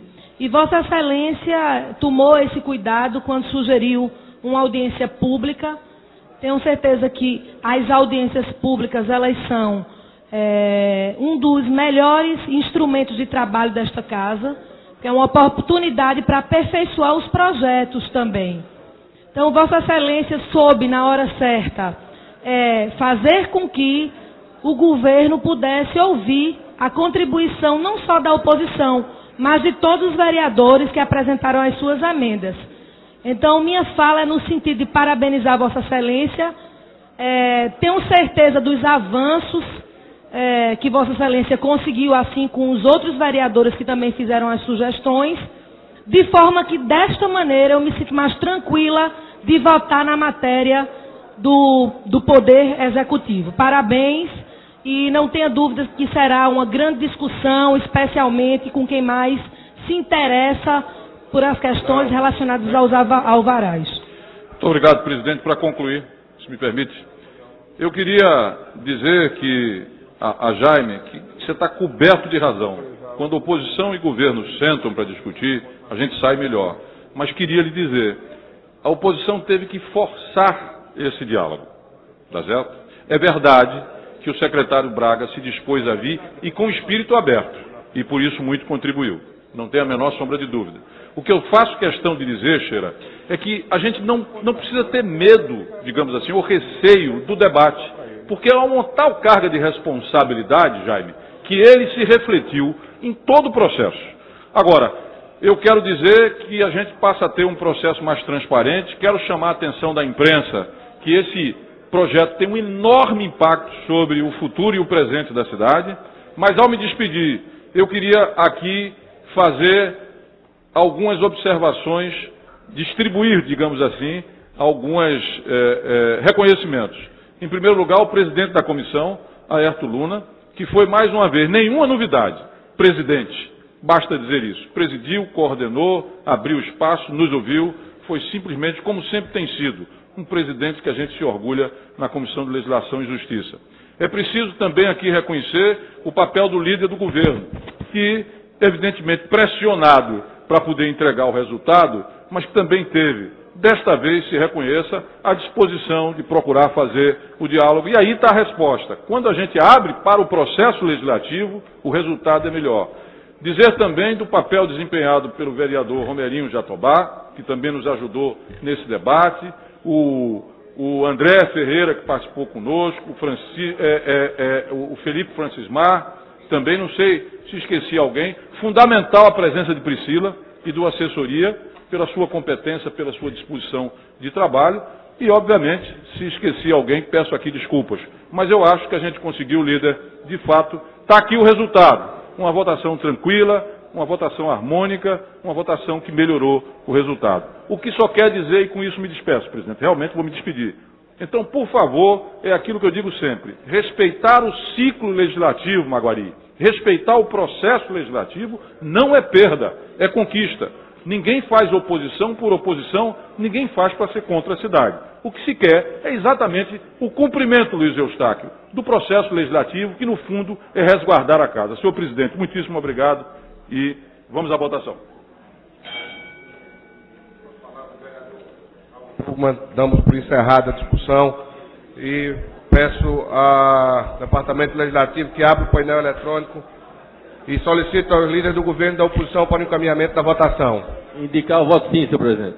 Como vota a oposição, vereador Aline Mariano? Sim, presidente. Está aberto o painel. Eu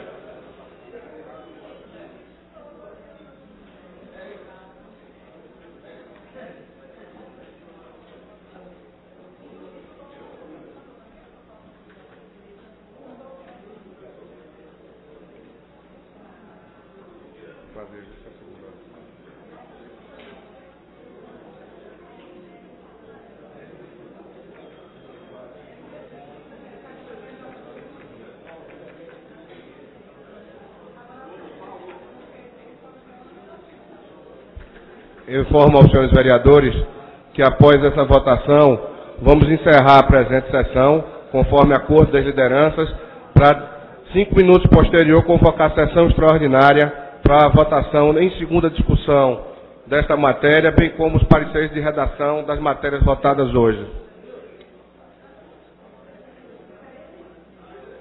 Portanto, solicito aos senhores vereadores que permaneçam em suas respectivas bancadas. Vereador Heriberto Rafael. Vereador Amaro Cipriano Maguari.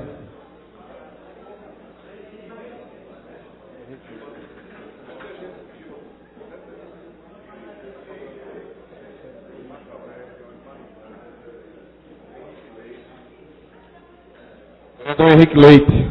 Como vota Vossa Excelência, vereador? Permite-me pela ordem rapidíssimo. Pois não, vereador. Eu esqueci o nome do vereador Jurandir Liberal. Ele foi fundamental para contribuir para a melhoria da lei. Faço questão, apesar de ele aqui dirigir algumas observações já respondidas, faço questão de reconhecer o papel dele. Foi fundamental também. Vossa Excelência também deixou de citar minhas nove emendas ao projeto. Vossa Excelência tem toda a razão e faço aqui o reconhecimento. Então peço a todos que incluam na lista daqueles que contribuíram e com grande contribuição o nosso secretário-geral. Está de parabéns também pelo trabalho aqui feito e me desculpe mais uma vez. O irmão não está aí, né? Michele não está.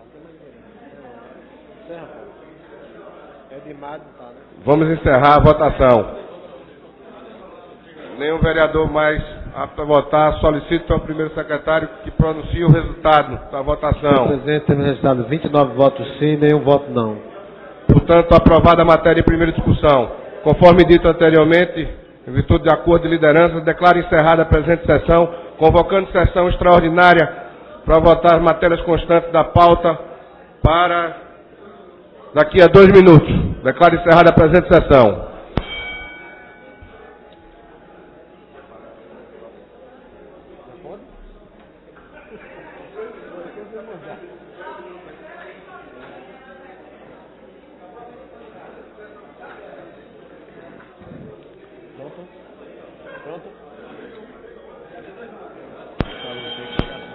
Ata. Pela vontade do povo, declaro aberta a sessão extraordinária. Solicito aos senhores vereadores que façam registro da presença em plenário. Enquanto isso, solicito ao primeiro secretário que faça a leitura da sessão anterior, da ata da sessão anterior. Ata da 55ª reunião ordinária da segunda sessão legislativa da 16ª legislatura, realizada no dia 17 de dezembro de 2013, sob a presidência do excelentíssimo senhor vereador Jadevaldo Lima, aos 17 dias do mês de dezembro do ano de 2013, às, deze- às 17 horas e 40 minutos, na sala João Negro Monte, na sala das construções da, número da terra da Casa Mariano, cito a rua Princesa Isabel, número 410, no bairro da Boa Vista, na cidade do Recife, capital do estado de Pernambuco. Reúne-se a Câmara Municipal do Recife, sob a presença do senhor vereador Jadevaldo Lima, a ocupar as primeiras e segundas secretarias, respectivamente, os vereadores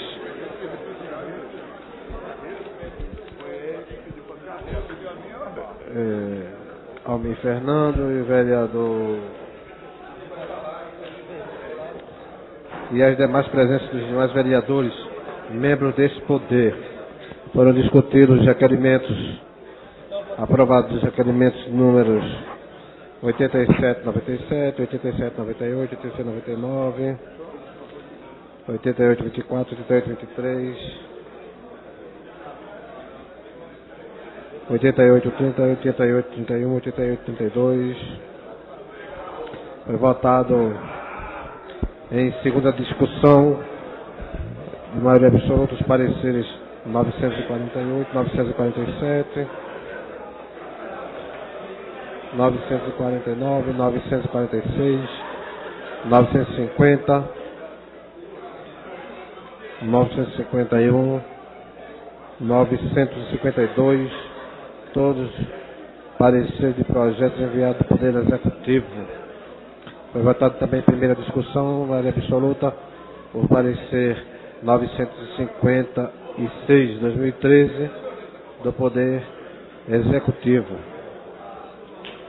Não havendo mais nada a tratar, o senhor presidente encerrou a presente sessão, na qual foi lavrada a presente ata, que depois de lida e aprovada, essa ata vai assinada por quem é de direito. Feita a leitura da ata, senhor presidente.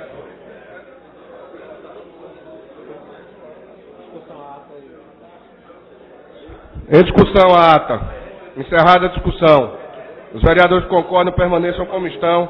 Aprovada a matéria.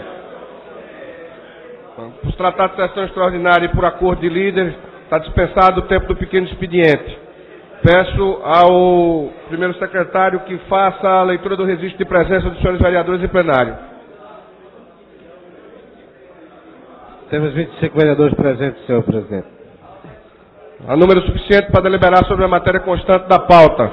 Sendo assim, solicito ao primeiro secretário que faça a leitura da ordem do dia.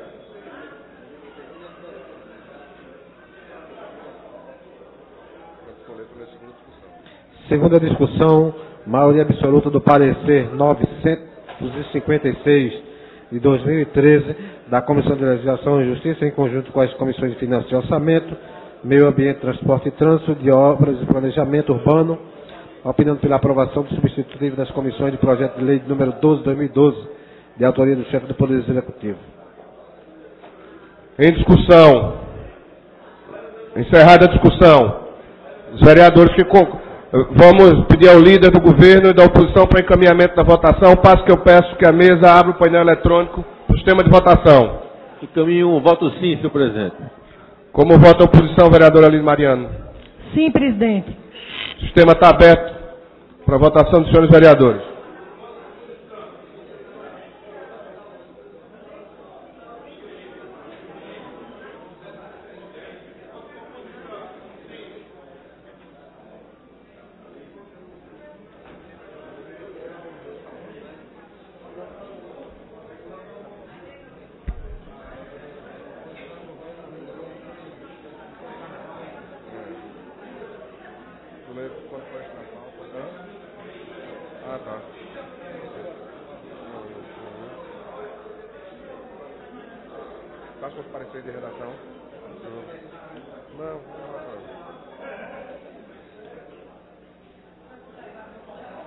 Vereador Jurandir Liberal, vereador Marcos de Bria, vereador Henrique Leite, vereador Edivaldo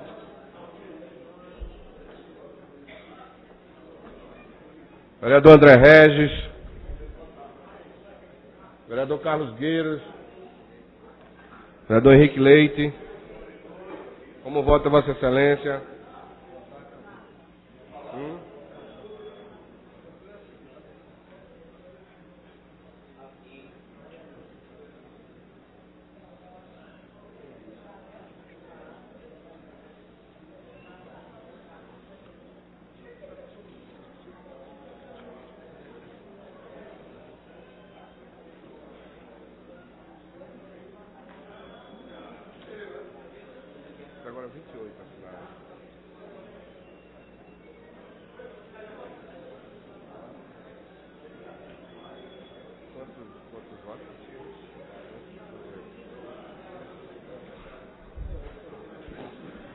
Encerrar a votação.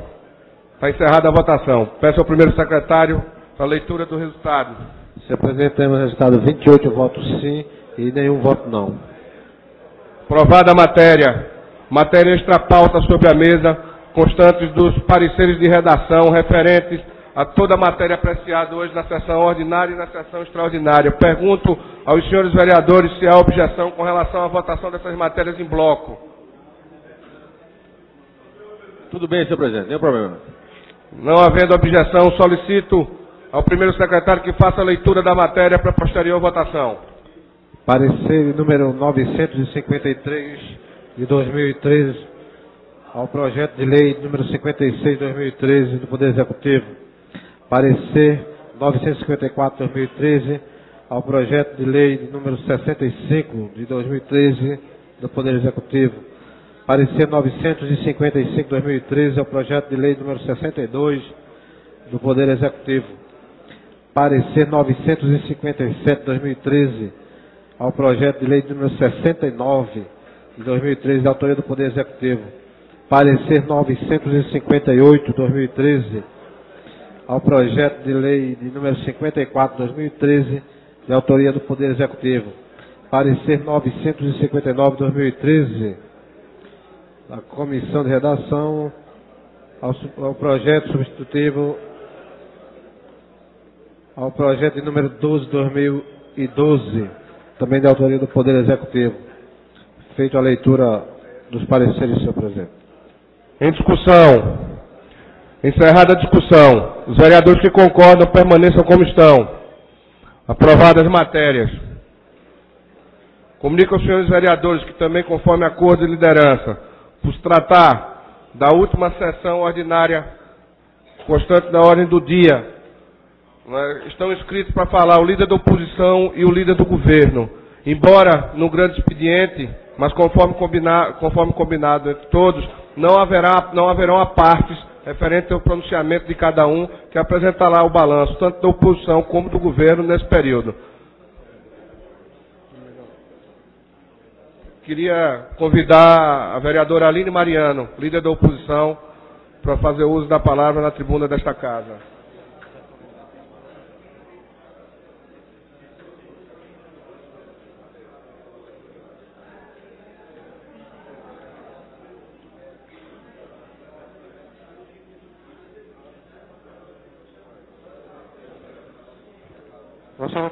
Gostaria de comunicar aos vereadores, todos os vereadores aqui presentes, que amanhã às 15 horas vai se dar início aqui à solenidade da entrega do prêmio Fernando Figueiredo, prêmio de saúde, e que todos os vereadores possam estar presentes aqui para entregar as devidas homenagens aos médicos, às pessoas, às autoridades que vocês nomearam para receber esse prêmio. Então, amanhã a partir das 15 horas, sem falta, todos os presentes. Senhor presidente, colegas vereadores, é, começam a serem apresentados os balanços referentes ao ano que se encerra. É um momento de fazer uma reflexão e uma análise crítica do que representou o ano de 2013 para a cidade do Recife. Embora composta apenas por quatro vereadores, o vice-líder da oposição, vereador Raul Zugman, vereador André Regis, vereadora Priscila Krause e o Anderson Florencio, que também deu aqui a sua contribuição, e eu, quero agradecer, aproveitar para agradecer de público é, o companheirismo, a motivação e o apoio que essa bancada tem nos dado. Tem sido eficiente, a oposição tem sido eficiente em produzir relatórios e levantamentos detalhados sobre as áreas que precisam de cuidados e atenção especial do governo municipal. Cada uma das vezes que nos propomos a fazer críticas, tivemos o cuidado de fazê-las com base em estudos cuidadosos e fiscalizações em loco. E é por termos exercido uma oposição responsável e atuante que nos sentimos à vontade para apresentar nosso balanço em contraponto ao balanço apresentado pelo prefeito Geraldo Júlio. Diante de tudo que foi prometido e de todas as expectativas geradas ao povo do Recifense, o resultado ao ao, qual temos acesso hoje ainda é muito incipiente. O prefeito Geraldo Júlio, que segundo as suas ações de marketing, tanto fez por Pernambuco, ainda não conseguiu imprimir o ritmo esperado ao crescimento do Recife. As ações que vemos no Recife hoje são, em sua maioria, ligadas ao resgate da autoestima dos recifenses. São necessárias, mas são superficiais. É preciso avançar com ações efetivas, senhores vereadores. Tão importante, o prefeito alega é, que vem cumprindo o programa de governo, mas em uma análise mais atenta do programa registrado em cartório pela gestão, vemos que muitos pontos estão pendentes ou em um ritmo lento. Um desses pontos é a educação, vereador André Regis, que não apresentou avanços de alto impacto. Embora o prefeito Geraldo Zúlio tenha apontado o tema como propulsor da redução da pobreza extrema, não entendemos o motivo que levou o prefeito a recusar a proposta da oposição de, estabelecer como meta a ampliação de 4,1 para média 6 no IDEB. Faltou ousadia nas metas, faltou ousadia nas ações empreendidas até agora. A cidade tem a obrigação de melhorar os indicadores para não permanecer no ranking como a pior capital do Nordeste no IDEB. O Recife ainda não apresentou avanços significativos, vereador Raul Jugman, na área de saúde. Além da requalificação do sistema, é necessário a contra contratação de novos profissionais. Construir novas unidades e ampliar a rede é importante, mas é preciso também estruturar a rede que já existe, garantir infraestrutura adequada, atendimento eficiente e acesso aos medicamentos. Outro ponto que não apresentou avanços, o que nos deixa bastante preocupados, vereadora Priscila Krause, é a questão da mobilidade. O prefeito afirma que usuários de transporte público e motorista que circulam em áreas como Nova Descoberta, Água Fria e Boa Viagem deixaram de passar 40 minutos em determinados pontos para passar 5 minutos apenas. Mas não é isso que o dia a dia da cidade nos, nos diz. A realidade é que os, as 18 mudanças no trânsito do Recife, propagadas pela gestão, não tiveram grande impacto, porque o problema da mobilidade é muito mais complexo do que mudanças pontuais. E até o momento não tivemos ações mais elaboradas. O governo municipal sequer finalizou o plano de mobilidade, que foi retirado da Câmara no início do ano para um aperfeiçoamento e adaptações e não foi reapresentado. Queremos saber se existem estudos concluídos sobre o tema e se esses estudos existem e a mobilidade é uma das prioridades desta gestão, por que o plano não voltou a esta Casa Legislativa? Em entrevista à imprensa publicada no último final de semana, o prefeito foi questionado sobre o plano.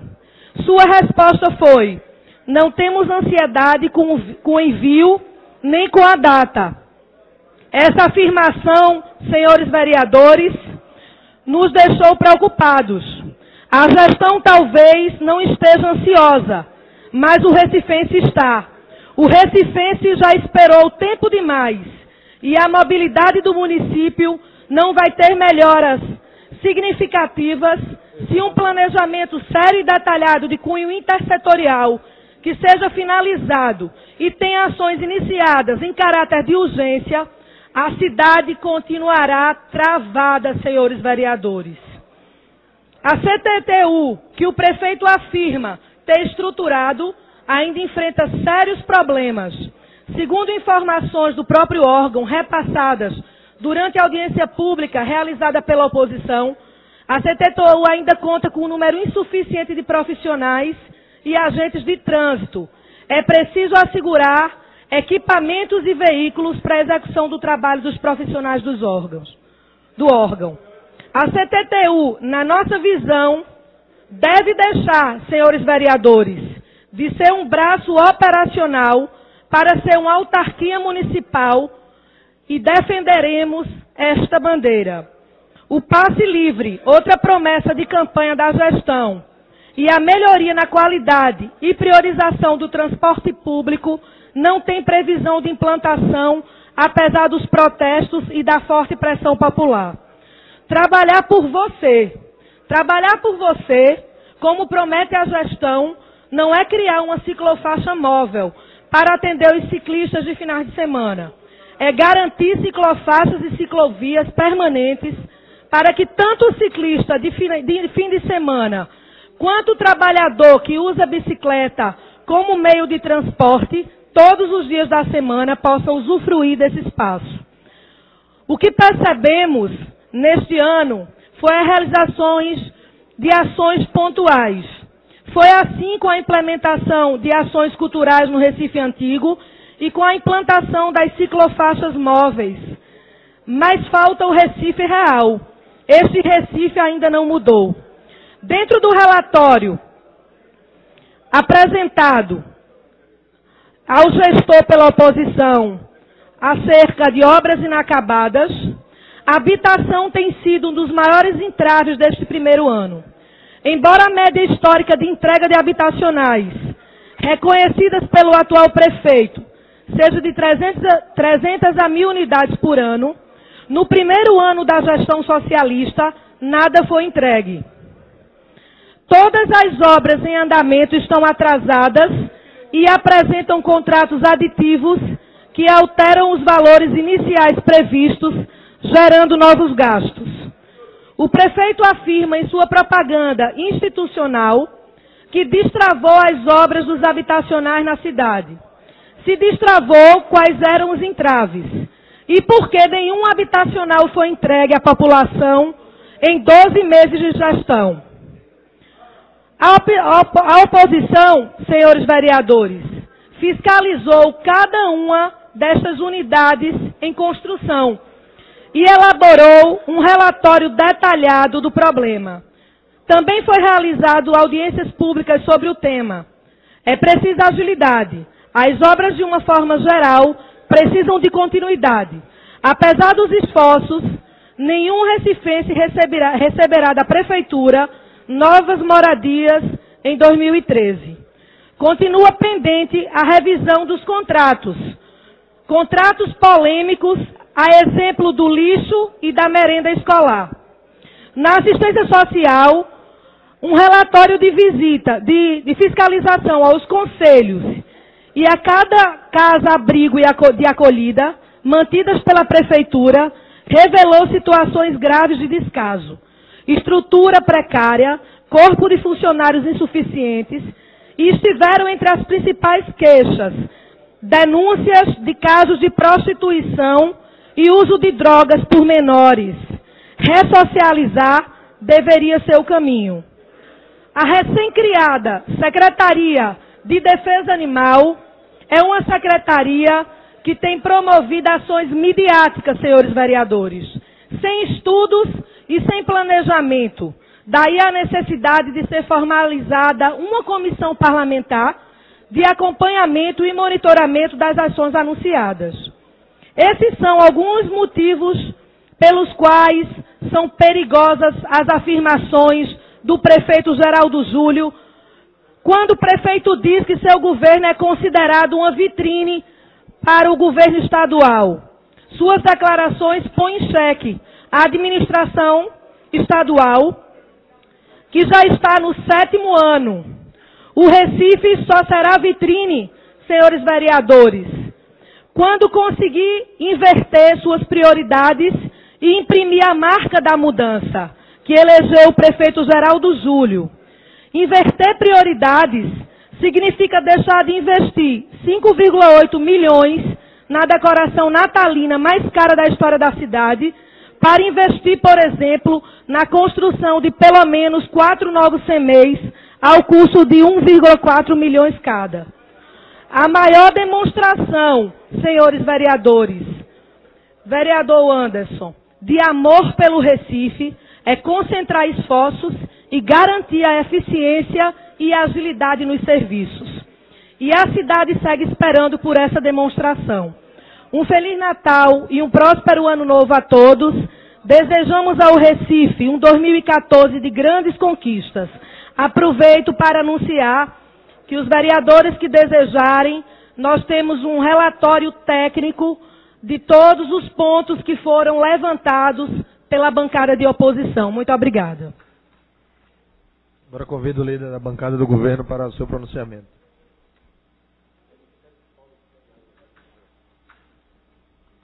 Senhor presidente, senhores vereadores, público presente, é com grande satisfação que veio à tribuna na tarde de hoje trazer um breve balanço das ações do primeiro ano da gestão Geraldo Júlio, que começou uma transformação contundente na cidade e já aponta o futuro do Recife para outros caminhos.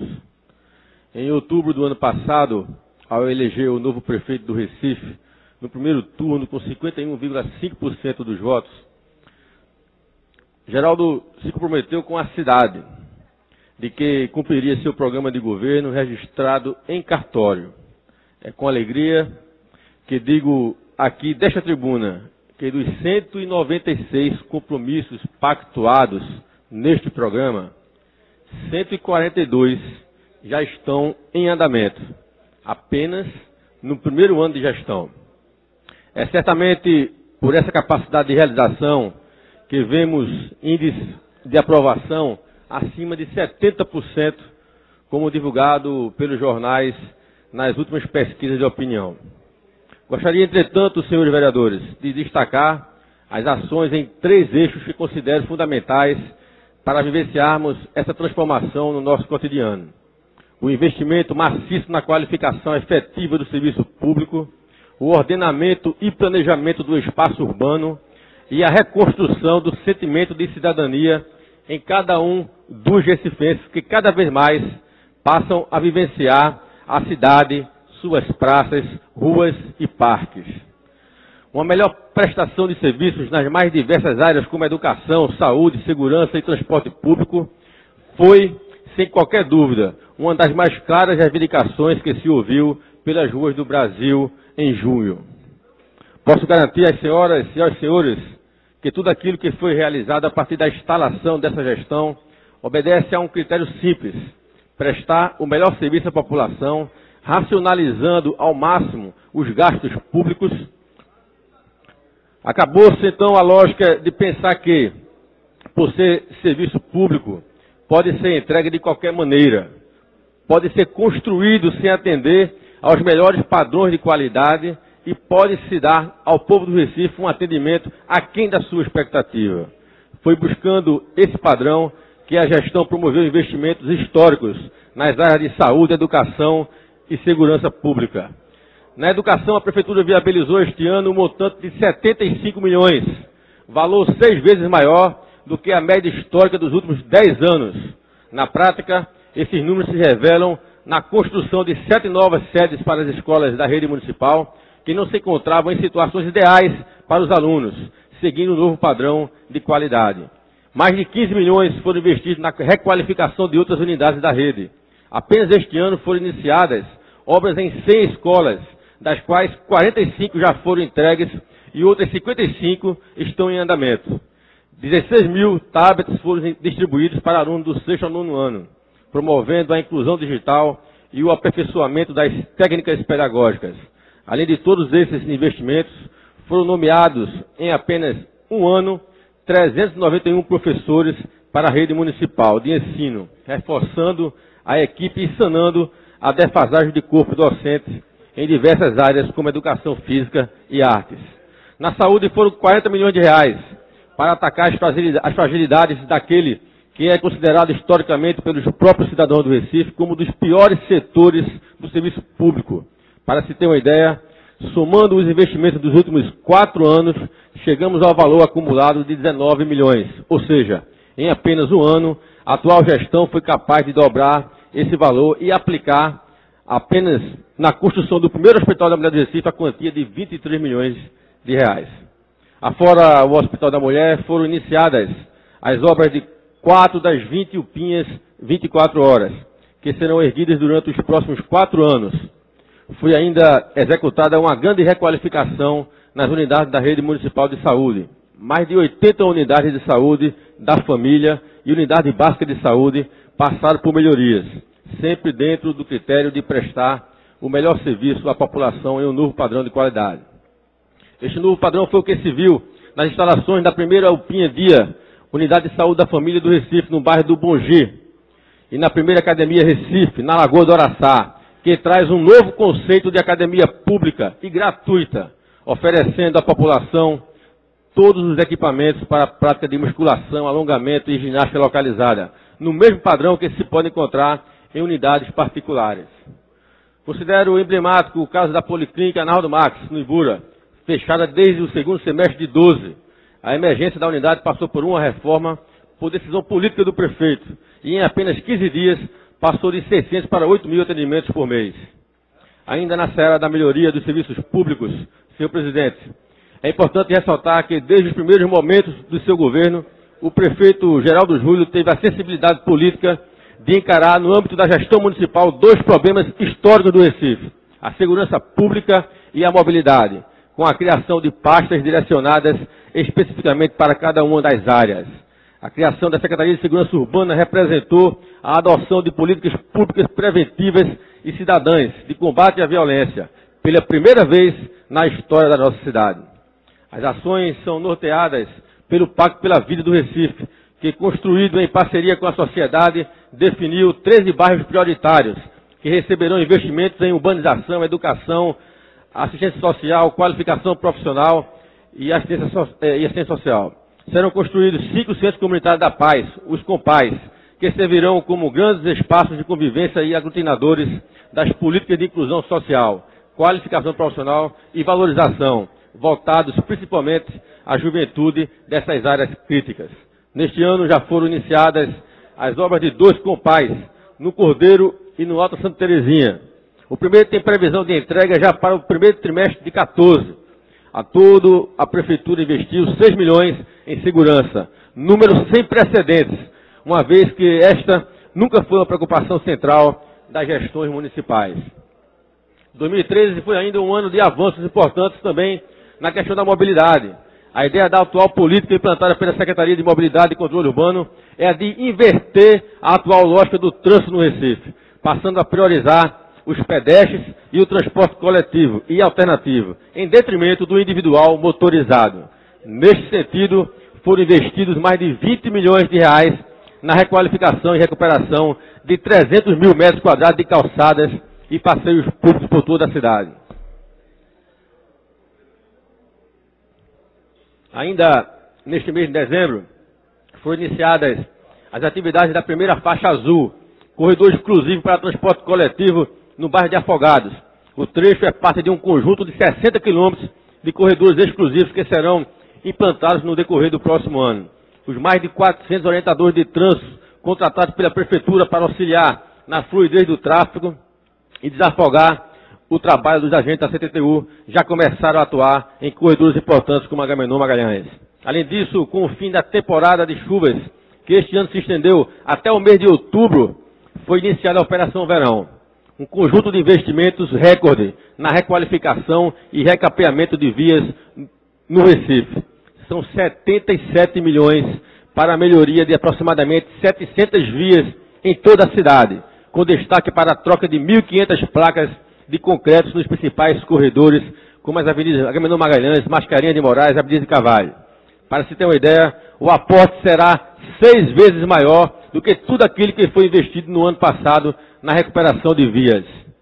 Senhoras e senhores vereadores, queremos reafirmar aqui que o ano de 13 marca uma nova relação entre o poder público municipal e a organização da cidade do Recife. É perceptível, ao se caminhar pelas ruas, que não há mais a sensação de que a cidade está abandonada, a deriva.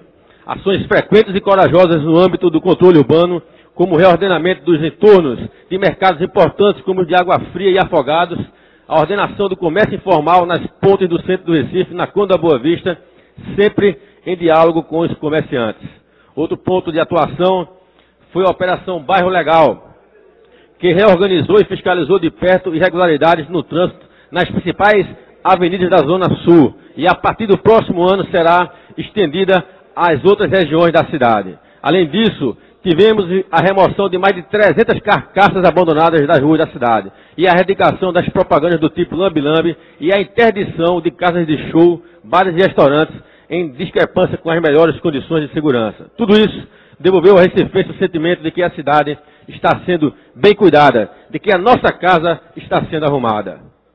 Mas para além do ordenamento urbano, que certamente surte efeito imediato, a atual gestão também se preocupa com o planejamento para o futuro do Recife.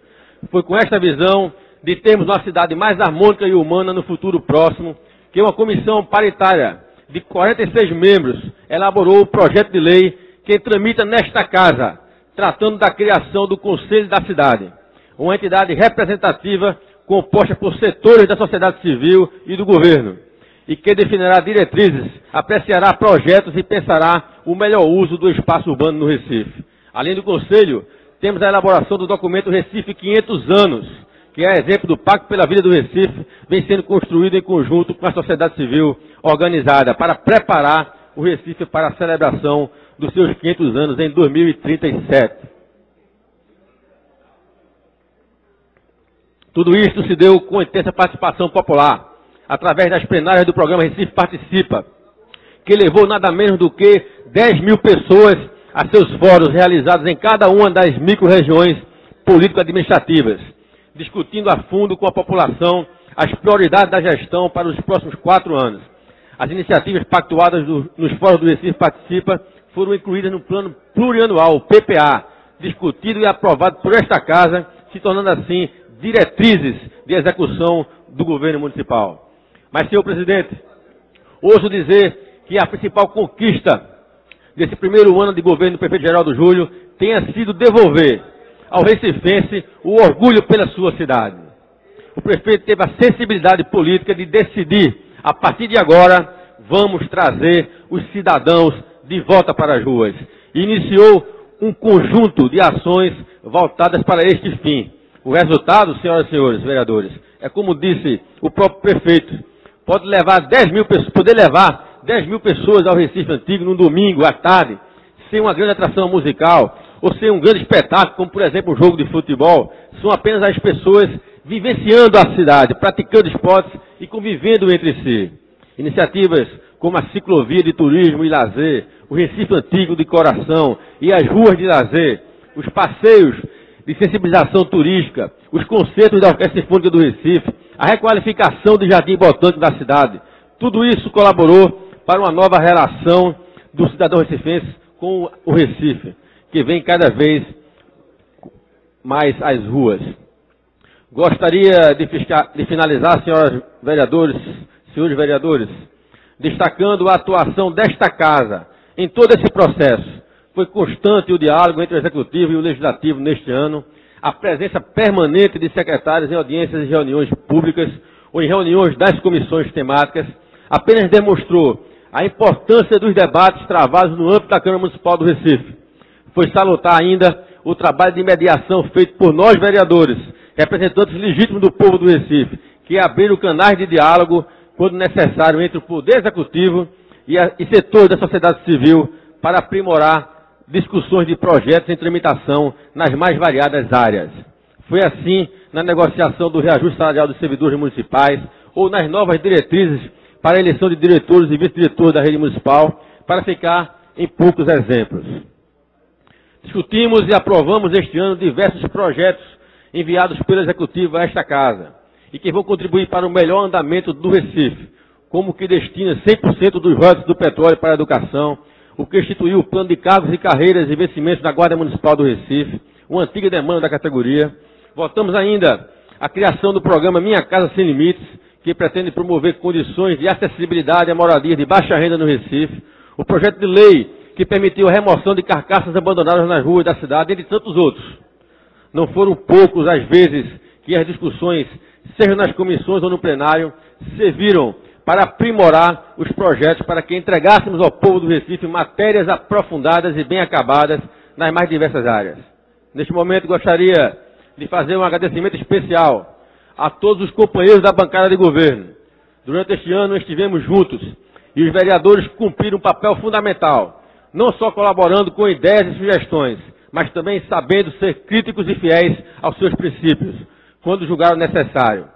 Agradeço, sobretudo, o companheirismo e a fidelidade dos vereadores desta bancada, que nunca faltaram com o compromisso firmado com seus eleitores de estar ao lado da gestão nas questões de grande interesse da cidade. Quero parabenizar também a atuação dos colegas da oposição, que cumpriram com competência e altivez o papel de estabelecer o contraditório, fundamental para bom debate democrático. É por todos esses motivos que afirmo, com plena convicção, o que já se percebe nas ruas da cidade. Um novo jeito de conduzir o Recife está em andamento. As pessoas estão percebendo e acreditando que um novo Recife é possível. O ano de 2013 devolveu o sentimento de orgulho para o recifense e deu a esperança de que em 2014 trará consigo novos avanços, novas alegrias e novas oportunidades. Juntos começamos a construir uma cidade mais humana, na qual todos terão acesso a melhores serviços públicos, todos poderão circular com tranquilidade e, sobretudo, ter a alegria de dizer eu sou recifense.